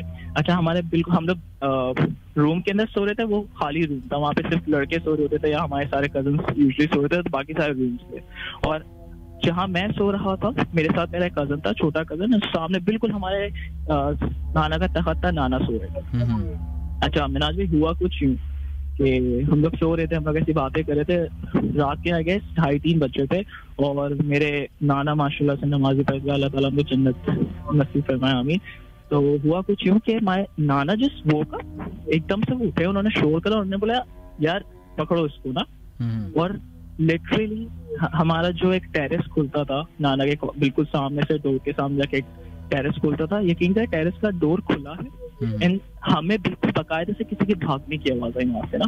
और हम लोग डर के एकदम से नाना की आवाज़ गए अच्छा नाना ने रियलाइज़ करा कि बच्चे डर रहे हैं। तो नाना ने बोला नहीं नहीं कुछ नहीं होता कुछ नहीं होता। जाओ जाओ सो जाओ सो जाओ कुछ नहीं कुछ नहीं कुछ नहीं। अच्छा नाना ने बोला बस तुम मुझे ना मेरी चप्पल ला के दे दो। हम्म, नाना को बोला नहीं नाना बोले बस चप्पल ला के दे दो ना। तो हमने नाना को चप्पल ला के दे दी। नाना को चप्पल ला के दी। हम लोग सो गए डरते डरते डरते सो अच्छा लिटरली मिनाज भाई आप यकीन करें हुआ कुछ। नाना एकदम से उठे नाना बोला अब तुम गए ना। ज़ोर से बोला बहुत शाउट करके ना। उन्होंने चप्पल मारी यकीन करें जिस चीज़ को चप्पल मारी या बताइए जिसको उन्होंने थ्रो करने की कोशिश करी वो हमारे सामने से हमारे रूम के अंदर से वो चीज़ गई है एंड वो प्योर जिसे कहते हैं ना pure black hmm, pure black like black और उसकी जितने भी उसके पार्ट थे या उसकी स्किन थी जो भी थी वो फ्लोट करी थी हवा के अंदर। और वो एकदम से वॉल के अंदर जाके लाइक बिल्कुल गायब बिल्कुल गायब। अच्छा। यकीन करें वो रात हम लोग बहुत रोए थे और मतलब नाना के साथ सोए थे। फिर हम नाना ने बताया कुछ नहीं होता ये चीज़ें सिर्फ़ तंग करने के लिए आती हैं। अभी तंग कर रही थी कि हमारा गार्डन था बहुत बड़ा। बहुत हम्म। बड़ा गार्डन है वहाँ पे तो उस, उस गार्डन से नाना बोलते थे कि चीज़ें आती हैं और आके फॉलो में इस तरह से चली जाती हैं तो तंग करके एंड अगर आप अगर आप टाइम दे तो एक और भी ये बहुत टेरिफाइंग है मेरे ये मेरे फादर के साथ हुआ था। चलें जल्दी से बता दीजिए please okay thank you so much okay हुआ कुछ यूँ कि like my father my father works as an engineer तो इनके काफ़ी इनकी पोस्टिंग्स होती रहती हैं। पोस्टिंग्स ही ये लाइक सेल्फ एम्प्लॉयड होते हैं तो उनको कॉन्ट्रैक्ट्स मिलते हैं बेसिकली ना? तो ये अंदरून सिंध वगैरह इस तरह से जाते रहते हैं। तो हुआ कुछ यूँ कि माय फादर वेंट प्लेस उनको एक कॉन्ट्रैक्ट मिला। तो वहाँ पे वो गए। अच्छा जब वो वहाँ पे गए तो उनका अच्छा गेस्ट हाउस था गेस्ट हाउस में मेरे फादर रह रहे थे। उनके साथ काफ़ी सर्वेंट्स थे तीन चार सर्वेंट्स थे। अच्छा मेरे फादर इस तरह से कि ही लाइक्स टू कुक तो वो कुकिंग वगैरह कर रहे थे तो जितने सर्वेंट्स वगैरह से उनसे फादर की नेचर ऐसी कि सबसे बहुत अच्छी बातचीत होती ना फादर की। तो वो होती है अच्छा जितने भी वो थे देवर क्रिश्चियंस सही है? तो वो अच्छा हुआ ऐसा था कि बाबा का जो गेस्ट हाउस जिसमें बाबा रहते वह- उस गेस्ट हाउस के पीछे इनका वो था ग्रेव यार्ड सही। आपको पता है कि ग्रेव यार्ड के अंदर क्रॉसेस लगे हुए होते हैं। बिल्कुल। क्रॉसेस होते हैं अच्छा एक रात को क्या हुआ कि माय फादर वो स्लीपिंग सब सो हम्म। रहे थे तो एकदम से सर्वेंट आया सर्वेंट ने इनको उठाया क्योंकि बाबा थोड़े रैशनल लॉजिकल थिंकिंग होते थे कुछ भी होता तो बाबा बोलते नहीं इस तरह से नहीं होता ये चीज़ें एग्जिस्ट करती है पर इस तरह से नहीं आती my father is always logical talking about these things तो हुआ हम्म। कुछ यूँ कि जैसे वो सर्वेंट आया उन्होंने बोला प्लीज़ बाहर आइए रात के दो ढाई बज रहे थे उन्होंने बोला बाहर आ जाए प्लीज़ सब खड़े हैं ना तो जब बाबा बाहर आए तो काफ़ी लोग जमा बहुत सारे लोग जमा। ये लोग ग्रेव यार्ड बिल्कुल सामने था ग्रेव यार्ड पे हुआ कुछ यूँ के जो एक इनके बिल्कुल सामने ही गेस्ट हाउस के सामने एक ग्रेव थी। उस पे इनका क्रॉस होता है आपको पता है ना क्रॉस किस तरह से होता है? ऊपर ट्रिनिटी इनकी बनी होती है बिल्कुल नीचे से एक लंबी सी वो जा रही होती है लकड़ी ना? बिल्कुल। तो हुआ कुछ यूँ आज पे कि उसके ऊपर ना इन राइटिंग इनकी बाइबल होती है तो हम्म। उसकी ना उलट कुछ लिखा। अच्छा वो ये देख के ये लोग सब घबरा गए और जो क्रॉस था ना वो किसी ने निकाल के उल्टा लगाया हुआ उस ग्रेव के अंदर। हम्म, और उस पर बहुत सारी चीज़ें लिखी हुई बहुत सारी अजीब सी चीज़ें लाइक जो भी है वो बस लिखी हुई लिखी हुई लिखी हुई। मैं फादर मेरे फादर ने कोई मसला नहीं अच्छा सब घबराए थे वो लोग सब घबराए मेरे फादर ने कुछ नहीं होता इस चीज़ को निकाल देते हैं। वो लोग नहीं ये ये चीज़ बैड ओमेन है मतलब हम इस तरह से नहीं ये चीज़ कर सकते आप इसको टच मत करिए। मेरे फादर बोला, नहीं कुछ नहीं होता इसको निकाल देते हैं। अगर किसी ने छेड़ा वेड़ा है तो उसको निकाल देते हैं। अच्छा मेरे फादर चले गए वहाँ पे भाई। सब मना कर रहे हैं हमारे फादर चले गए मेरे जैसी बाबा बता रहे बाबा जैसी गए। बाबा ने जैसे उसको पुल करने की कोशिश करी, जैसे ही हल्का सा बाहर निकाला, किसी ने उसको अंदर खींच लिया। और ये सब देख के ना घबरा गए कि यार, एकदम से ये क्या हुआ? इतने ऐसा नीचे तो कोई हो नहीं सकता। तो अल्लाह बाबा ने अल्लाह का नाम दिया लाइक ही स्टार्टेड प्रेइंग आयतल कुर्सी पढ़ी और बाबा ने निकाल दिया उसको उसने निकाल के फेंक दिया। अच्छा बाबा जैसे वापस आए अपने गेस्ट रूम के अंदर आए रॉटन एग होता है। रॉटन एग की कितनी गंदी स्मेल होती है। बाबा बता रहे हैं एकदम से आना शुरू हुई पूरे घर के अंदर। और वो इतनी आई इतनी ज़्यादा आई कि सब परेशान हो गए कहाँ से आ रही है? सब मतलब सब फाइंड करने लगे किस जगह से आ रही है सोर्स कैसी किसी को नहीं पता। अब अ, सब इवेंचुअली बाबा जाके अब टाइम हो गया था काफ़ी चलो सब जाके सो जाओ कुछ नहीं है ना। अच्छा बाबा सोए बाबा को उस वक्त के अंदर सेम ग्रेव पे बाबा देखते हैं कि बाबा गए हैं बाबा ने सेम चीज़ करी जैसी करी ना तो अंदर से एक अजीब सी वो चीज़ निकली है और उसने क्रॉस उठाया and started running you know for my father कि मैं तुम्हें मारूँगा। अच्छा मैं बाबा बोलते हैं घबरा गए मैं भागने लगा भागने लगा भाग रहा हूँ भाग रहा हूँ भाग रहा हूँ भाग रहा हूँ भाग रहा हूँ। एकदम से मेरी आँख खुल गई। अच्छा जैसे ही मेरे फादर की आँख खुली that thing was in front of my father और जैसे ही बाबा ने उनको देखा मतलब उस चीज़ को देखा बाबा पढ़ना शुरू बाबा ज़ोर ज़ोर से पढ़ना शुरू हो गया तिलावत करना शुरू हो गया बाबा बोले वो एकदम से चीज़ डिसअपियर हो गई फिर नेक्स्ट डे मॉर्निंग के अंदर उनके प्रीस्ट आते हैं जो भी उनके पादरी कहते हैं कि उर्दू के अंदर प्रीस्ट हम्म। आए उनके फॉर्म प्रीस्ट आए उन्होंने इस चीज़ को एक्सॉर्सिज्म जो प्रॉपर एक्सॉर्सिज्म होता है उन्होंने पूरा अपने लाइक क्रिश्चियनिटी के अंदर उनको करा उस चीज़ के अंदर हम्म। और फिर अल्लाह का शुक्र उस रात के बाद से ये और ये किधर कौन से इलाके की बात है ये? ये एक मुझे कंफर्म नहीं है बट इट्स बाबा बताते हैं कि ये हैदराबाद की साइड पे आई गेस सिंध लगता है वहाँ पे क्या लगता है हैदराबाद की साइड पे एक जगह पे था। वहाँ पे बड़े बड़े इंडस्ट्रियल एरिया है वेवरेज लग रहे होते हैं। तो my father work on the ये वेवरेज होते हैं बड़े बड़े। वहाँ पे काम करते हैं मेरे फादर और ये कितनी पुरानी बात है? ये थ्री इयर्स पुरानी की बात है। और my father is like he उन्होंने इसे बताया था ना उन्होंने बोला था कि लिटरली इनके साथ ऐसा हो वरना हम कभी उनसे बोलते ना कि हम ऐसा फील कर रहे हैं या इस तरह की चीज़ होती है। माय फादर इज़ लाइक ये इस तरह से वो बहुत लॉजिकल पे बात करते हैं बहुत ज़्यादा। पर जब उनके साथ हुआ उनके सामने हुआ तो उन अभी भी ना वो थोड़े से हक्के बक्के बात है। बोलते हैं कभी इस चीज़ को टच नहीं करते आप इस चीज़ को छेड़ते नहीं वो बोलते हैं उनकी गलती थी उन्होंने इस चीज़ छेड़ी तो उनके साथ हुई। हम्म, हम्म। चलें चलें बहुत बहुत शुक्रिया आपका। Thank you so much thank you so much अपना ख्याल रखिएगा। अल्लाह हाफिज़।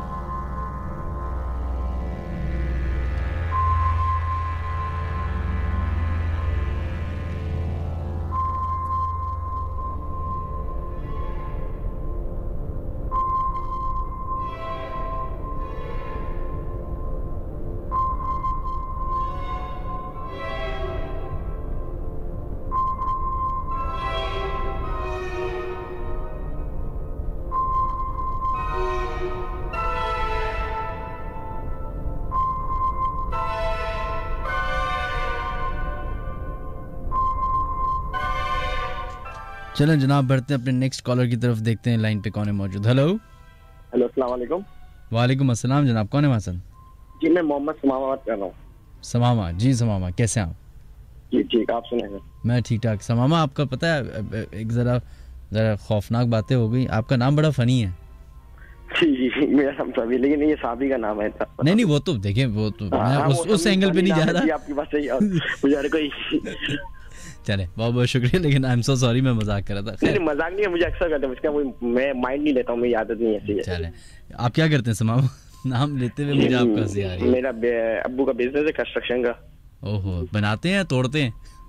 हाँ बस ठेकेदार है हम लोग मतलब हम लोग बनाते हैं। किसको? घर को या लोगों को? घर का बनाते हैं लोग। चले सॉरी अच्छा ये बताइए कि आपका कंस्ट्रक्शन का काम है आपके बारे साहब का तो वो तो डिफरेंट डिफरेंट जगहों पे जाते होंगे। नहीं हमारा कंस्ट्रक्शन से कोई ताल्लुक नहीं है जो जो चीज़ बात हो रही है।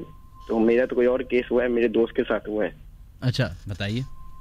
जी मेरा एक दोस्त है अली नाम है उसका उसका वाकया हुआ था अभी तो उसकी एज ट्वेंटी थ्री है वो जब छह साल का था आई थिंक वो दो हज़ार दो या तीन की बात है ना।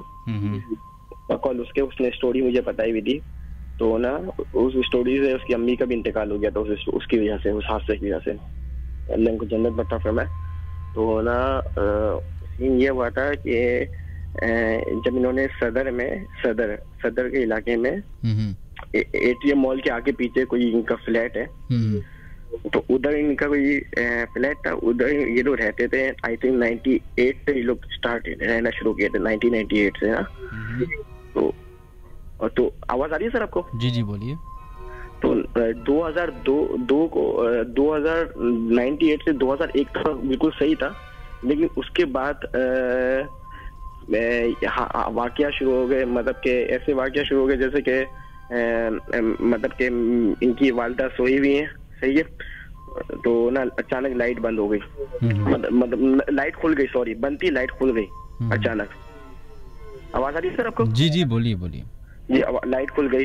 ऐसे ऐसे छोटे छोटे केसेस आते रहते थे। एक बार ये हुआ कि ना, वो जब इस, मेरा जो दोस्त था, उसकी एज छोटी थी फाइव ईयर सिक्स ईयर्स की थी तो वो शॉर्ट्स पहने हुए थे उसने चड्डा पहना हुआ था।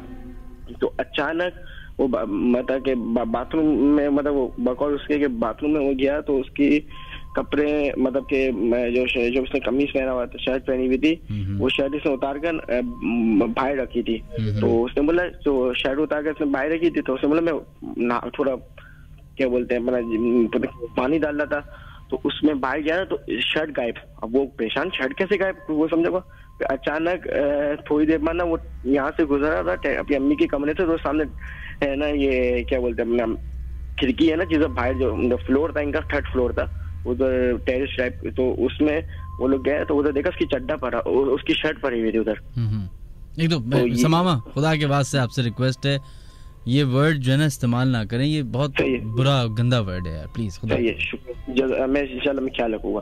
तो तो ये वहाँ पे ना वाकई ये होने लगे कि इनकी वालदा की तबीयत 105 एक तक बुखार चले जाता था हर रोज हॉस्पिटल में जाते रहते थे घर वाले पीछे वाले भी यही बोलते थे कि इसकी थोड़ी तबीयत खराब है कोई हादसा है। बाद में पता चला किसी ने काला जादू करवाया था इनके घर में बकौल उसके। अच्छा। तो जो जो चीज़ उसका बदला लिया था एक बार जो शादी में इनकी कोई शादी थी खाना में तो पैंट जो जीन्स की जो पैंट थी उसी घर से ताल्लुक था। तो उनका कोई रिश्तेदार है उसने रिश्ते का ना, नाम वो लेते नहीं है किसने किया है। वो उससे बोलते थे कि आपके खानदान में किसी ने काला जादू करवाया तो उसमें जीन्स की जो पैंट है हम्म। तो उसमें अ, जीन्स की हम वो जीन्स की पैंट इनके घर में शादी के बाद है तो जीन्स की पैंट ऐसे पड़ी हुई थी। उन्होंने बोला किसकी ये समझ नहीं आया? जब उनकी वालदा का जब बिल्कुल समझ से बाहर था उन्होंने ऐसी यहाँ रखी हुई थी उसके दो दिन बाद उनकी वालदा का इंतकाल हो गया। उनकी वालदा का इंतकाल हो गया। तो फिर इंतकाल हो गया तो सब वो ऐसी मौत थी क्योंकि बुखार था होता रहता था बुखार, लेकिन जो अचानक हुआ है एक मतलब के साढ़े दस बजे इन्होंने नाश्ता किया और एक डेढ़ बजे दम तोड़ दिया। मतलब हॉस्पिटल लेके फ़ोन उधर जाकर दम तोड़ दिया। फिर बाद में जब ये लोग इधर उधर आ गए तो बाद में जब पैंट, जीन्स की जो पैंट थी, वो पड़ी हुई थी यहाँ। तो इन्होंने बोला ये जीन्स की पैंट किसकी है? तो उनके जो खानदान में भी मौलवी, उनको शक हुआ कि ये कोई चीज़ खराब है। दिखाया तो उसमें इतने गंदे असरात अल्लाह माफ़ करे कि उसमें किसी ने जो जादू कराया था वो जीन्स की पैंट की पगल हुआ था उसमें बहुत शैतानी असरात है। और उन्होंने बोला था कि ये और भी नुकसान बचाएगी इसको दरिया में फेंक दो जीन्स की पैंट को। एक तो समामा जीन्स की पैंट क्या होती है? जीन्स तो जीन्स होती है ना जीन्स की हाँ। पैंट नहीं होती जीन्स। जी जी वो पैंट अच्छा। मतलब उसमें असरात थे अच्छा ये कितनी पुरानी बात है? ये दो दो हज़ार तीन दो हज़ार दो की बात है। हम्म हम्म हम्म, ये किसी खानदान में और जिन्होंने जिन्होंने असरात बताया था काला जादू किया था उन्होंने ये भी बताया था कि इनके खानदान में लेकिन वो नाम नहीं बता सकते उसका। अच्छा चले सही। बहुत बहुत शुक्रिया आपका थैंक यू अपना ख्याल रखिएगा।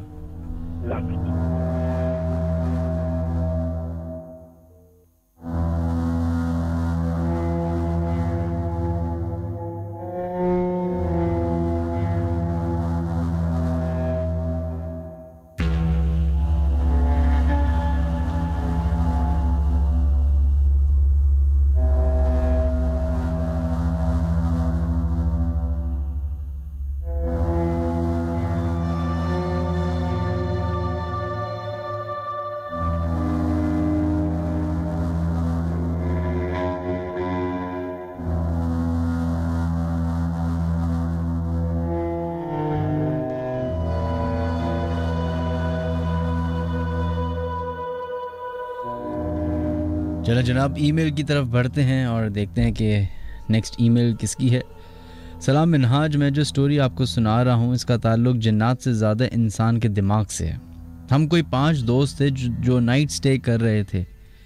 रात के तकरीबन तीन बज रहे थे कि हम लोगों ने प्लान किया कि क्यों ना आज कोई हॉन्टेड जगह चलें थोड़ा एक्सपीरियंस करते हैं। मैंने सजेस्ट किया हिल पार्क चलते हैं। वहाँ का बहुत सुना है मैंने। तकरीबन साढ़े तीन बजे हम लोग वहाँ पहुँच गए। उस पूरे एरिया में ना कोई बंदा था, ना बंदे की ज़ात। उसकी एंट्रेंस देखकर ही खौफ आ रहा था सबको। खैर अल्लाह करके हम अंदर गए। तो वहाँ कुछ लोग क्रिकेट खेल रहे थे पार्किंग की तरफ़। हमने टॉप पर जाना शुरू कर दिया। और believe me it was pitch black और मुकम्मल सन्नाटा था वहाँ। रास्ते में हम जहाँ जा रहे थे कि हमें लगा कि एग्जैक्ट हमारे पीछे से किसी की ज़ोर से हंसने की आवाज़ आई है। वो आवाज़ हम पाँच लोगों में ने सुनी। हमारे होश उड़ गए, ये देख कर के पीछे कोई नहीं था। अच्छा मैं एक वाहिद ऐसा बंदा हूँ जो कि बहुत कम कन्विंस होता है इन चीज़ों से। मेरे जहन में एक ख्याल आया कि जिस वजह से वो आवाज़ आई हो। डिस्कस नहीं किया क्योंकि फिर सब मज़ाक उड़ाते। मेरा और कोई नहीं था सुन, और कोई नहीं, और कोई नहीं सुनता। आगे जब ऊपर की तरफ़ गए तो वहाँ पर एक फिगर आग जला के बैठी हुई थी, सर पर चादर लेकर। बहुत दूर से उसका शेडो नज़र आ रहा था। मेरे सारे दोस्त ये देखकर ऐसे भागे जैसे इनके पीछे कोई कुत्ता लग गया हो। खैर, मैं उस चीज़ के पास गया तो वो कोई नहीं था, बल्कि कोई बंदा था जो कि सिफली अमल कर रहा था। ये देखकर मेरा खून खोलने लगा और मैं उसके पास गया और उसको दो थप्पड़ रसीद किए। और उसका सारा सामान फेंक दिया और बोला कि दफ़ा हो जाओ यहाँ से, आज के बाद अपनी शक्ल मत दिखाना। वो वहाँ से चला गया। उसके बाद जब मैं नीचे आया जहाँ लोग क्रिकेट खेल रहे थे, मैंने उनसे पूछा कि भाई क्या आप, अभी आप लोग किसी बात पे हंस रहे थे? तो उन्होंने कहा, जी, हम में से किसी को बहुत ज़ोर की बॉल लग गई थी और वो गिर गया था, उस पर हम हंस रहे थे। ये बात मैंने दोस्तों को बताई, अपने उन्होंने फिर भी यकीन नहीं किया। खैर, मैंने ज़्यादा बहस नहीं की और फिर मैं घर आ गया। इस ईमेल का ये मतलब है कि बंदा कुछ भी अनयूजुअल चीज़ का ब्लेम इन पर ना डाले। पहले वो अच्छी तरह उसकी रिसर्च कर ले। जब कहीं से कोई सुराग या जवाब ना मिले, तब आप ये कह सकते हो कि हाँ दिस वॉज़ समथिंग एल्स खैर, बहुत बहुत शुक्रिया आपका रमीज़। और मुझे ये क्यों लग रहा है कि ये भी ईमेल मैंने पढ़ी हुई थी? खैर, कोई बात नहीं। सलाम मिनहाज आप अक्सर अपने शो में कारसाज का ज़िक्र करते हैं कि कारसाज पे आपके मुताबिक जन्नात के असरात नहीं हैं, लेकिन आपने वो क्या है का नाम सुना होगा और मे भी शो भी देखा होगा।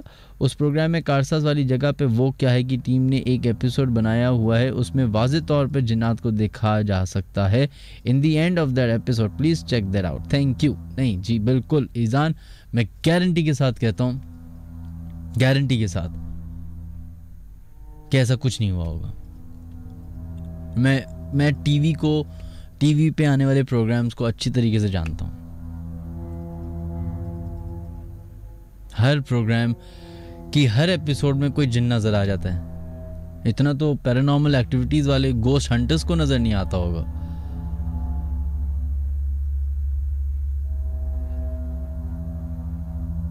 कैमरे के अंदर मैं आपको दस तरीके बता सकता हूँ जिन्नात लाने के। बड़ा आसान है झूठ का सहारा लेना। बड़ा आसान है।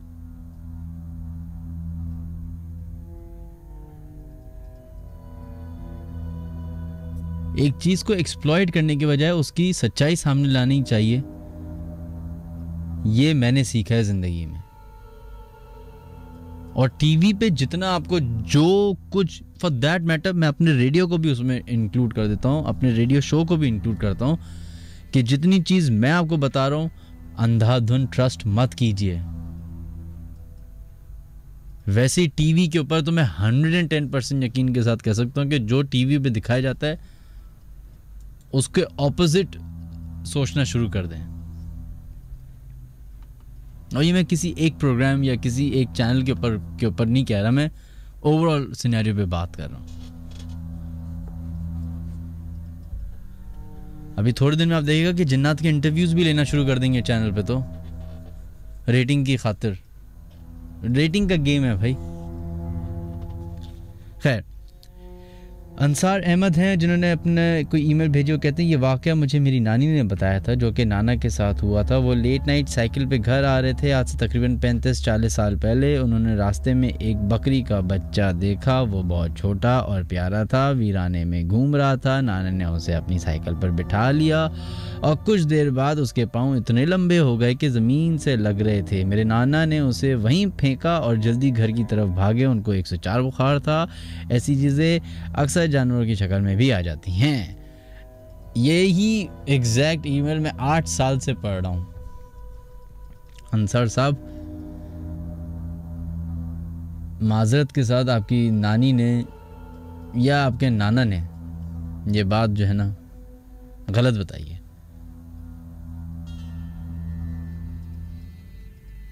कभी मतलब ये मैं दस सालों से, मुझे जो आई थिंक जो अभी इससे पहले जो ईमेल आई थी जो दिमाग की बात कर रहे थे कि हम सब क्वेश्चन नहीं करना। अब अब हमें शायद बुरा लगता है एक सवाल करना। थोड़ा सा आज का जो शो है वो थोड़ा सा ऑफ़ टॉपिक हो रहा है लेकिन इट्स ओके okay, कोई बात नहीं। कभी ज़रूरी नहीं कि हर वक्त ही आपको मैं डराऊं और धमकाऊं और खौफनाक बातें हों। लेकिन क्वेश्चन करें, मुझसे करें, सबसे करें, भाई, सवाल करना तो आपका राइट है और सवाल करना कोई जुर्म थोड़ी है गुना थोड़ी है। हमारे यहाँ तो नानी ने बताया था, मेरे मेरी अम्मी ने बताया था, मेरे अब्बू ने बताया था, बस बता दिया तो भैया, पत्थर की लकीर हो गई क्या? बताया था क्वेश्चन करें कि क्या हुआ था, कैसे हुआ था? दादा, हो सकता आपकी बात नहीं कर रहा, मैं इन जनरल बात कर रहा हूँ कि हो सकता है ये जो आते हैं ना नानाओं के साथ या अब्बाओं के साथ जी, वो कार साथ पे अबू जा रहे थे और उनको एक लड़की नज़र आई, उन्होंने लिफ्ट दी। अरे लिफ्ट के, सवाल ये बनता है कि रुके क्यों भाई? रुके क्यों? क्या, किस नीयत से रुके थे? बहुत सारी ऐसी बातें हैं जो आप क्रॉस क्वेश्चनिंग करें तो आपको पता चलेगा कि अच्छा कहाँ, दाल में कुछ काला है। या अच्छा एक और भी होता है। ये मर्दों के साथ बहुत होता है क्योंकि मैं हूँ, मुझे पता है ना। हमें टाइम की टाइम कैलकुलेट करना नहीं आता। फॉर एग्ज़ाम्पल आपने बेगम को बोला, मैं एक बजे आ जाऊँगा अपने दोस्तों से। और हो गए भाई तीन बज गए, बैठे बैठे अब। अब घर जानने के लिए तो आप निकल गए, लेकिन आपको पता है घर जाते ही एक तूफ़ान बर्पा होगा। सवाल जवाब होंगे। तो किसी ज़माने में ये एक नया ट्रेंड होगा। आजकल जैसे ट्रेंड है कि यार वो मेरे पीछे बाइक पे वो लोग लग गए थे मैं दोबारा दोस्त के घर चला गया वहाँ दो घंटे बैठा और फिर जब सा, सारा मामला सेटल डाउन हुआ तो फिर मैं निकला। Not I am not making fun of anything but still ये भी होता है। उस ज़माने में शायद ये होता होगा कि मैं तो जा रहा था कार साथ पे और नज़र आ गई और मैं वहाँ बेहोश हो गया दो घंटे के लिए। फिर मैं उठा तो मैं आया हूँ। बेगम मैं बजिया बजिया उस रात को भी आपकी जज हो जाती है रात के दो दिन, तीन दिन तक जज हो जाती है। आराम करने को भी मिल जाता है। हालाँकि मैं मैं क्या दो करोड़ ढाई करोड़ की आबादी है इस शहर में? मुझे एक शख्स अभी तक नहीं मिला जिसने मुझे शो में आके बताया हो या खुद पर्सनली बताया हो कि मिनहाज, मेरे साथ मेरे साथ हुआ है कारसाज पे वाक़ ऐसा कोई भी नहीं मिला।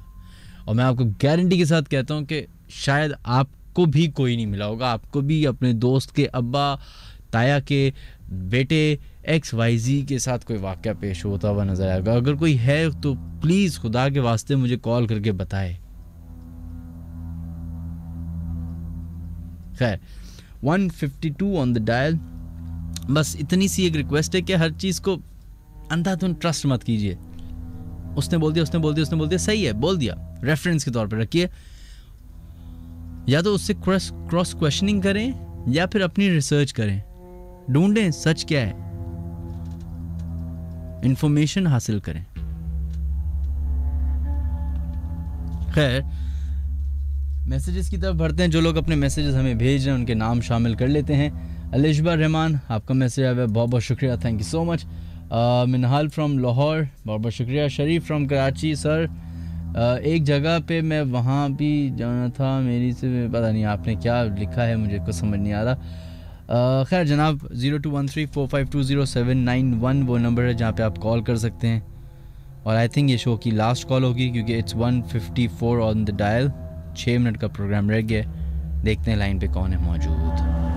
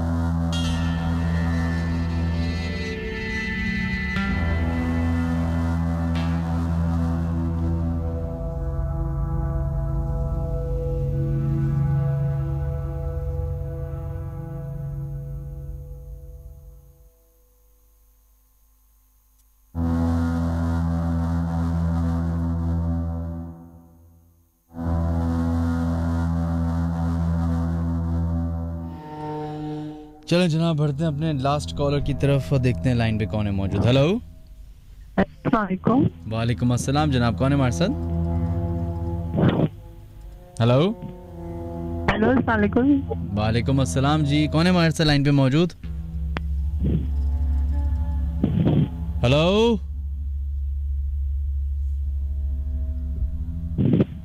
हेलो हम्म।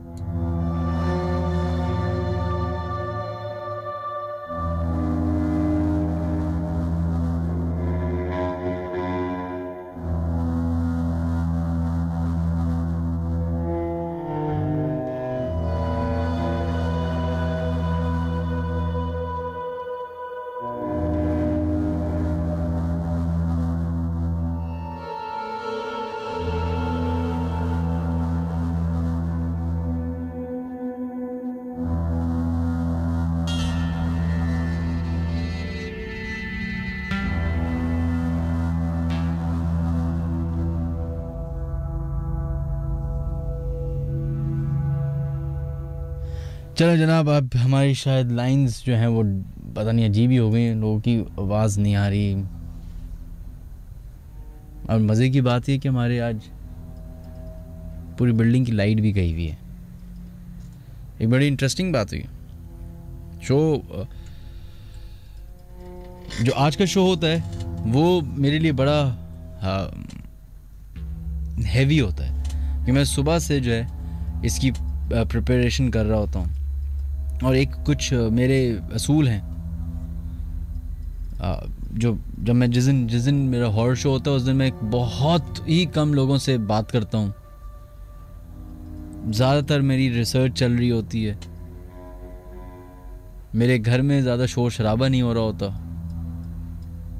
मैं अपने कमरे में बिल्कुल एक कॉर्नर मेरा एक है उधर बैठा होता हूँ। क्योंकि I need focus for this show secondly जब शो करने आता हूँ तो यहाँ स्टेशन पे भी सबको पता है कि स्टूडियो में कोई नहीं आ सकता।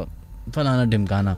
खैर, आज कोई दस, सवा दस बजे मैं स्टूडियो पहुँचा हूँ तो मैंने अपनी पार्किंग में गया गाड़ी पार्क की और मैंने नोट किया कि पूरी बेसमेंट में अंधेरा, क्योंकि लाइट गई हुई है।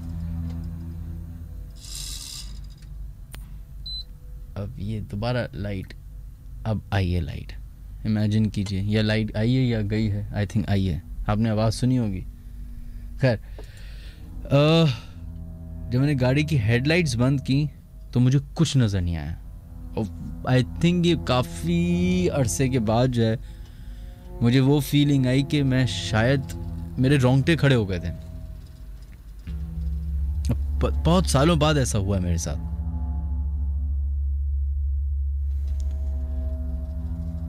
अब मैं अपने मोबाइल से लाइट वाइट जलाई तो सिर्फ़ मुझे अब मोबाइल की कितनी लाइट होती है? थोड़ी सी होती है। हल्का हल्का सा नज़र आ रहा मैं। आयतुल कुर्सी पढ़ता पढ़ता जा रहा, मेरे रोंगटे, अब मैं जाता, आए कि कदम आगे बढ़ाता जा रहा हूँ, मेरे रोंगटे खड़े होते जा रहे हैं।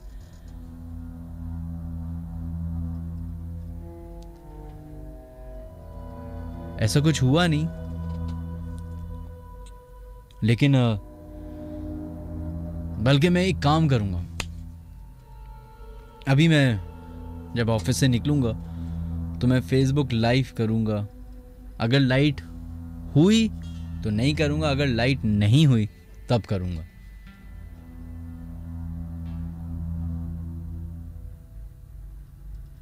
कभी कभी जब आपके चारों तरफ़ अंधेरा होता है, खामोशी होती है। तो अक्सर आपको ऐसा फील होना शुरू होता है कि आप अकेले नहीं हैं। नाइन्टी परसेंट वहम होता है वो। लेकिन टेन परसेंट हकीकत भी हो सकती है।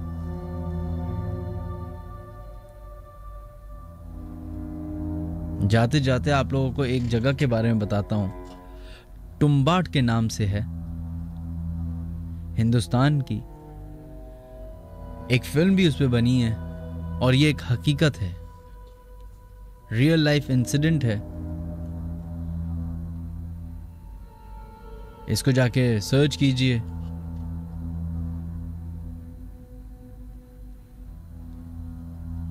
आप हैरान हो जाएँगे कि दुनिया में क्या क्या चीज़ें मौजूद हैं।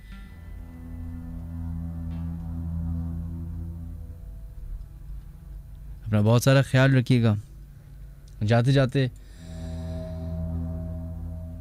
W W W dot YouTube dot com slash Minhaj Ali Askari हमारा ऑफिशियल यूट्यूब चैनल है। उसको सब्सक्राइब कीजिए। और हमें इसी तरीके से सपोर्ट करते रहिए। Take care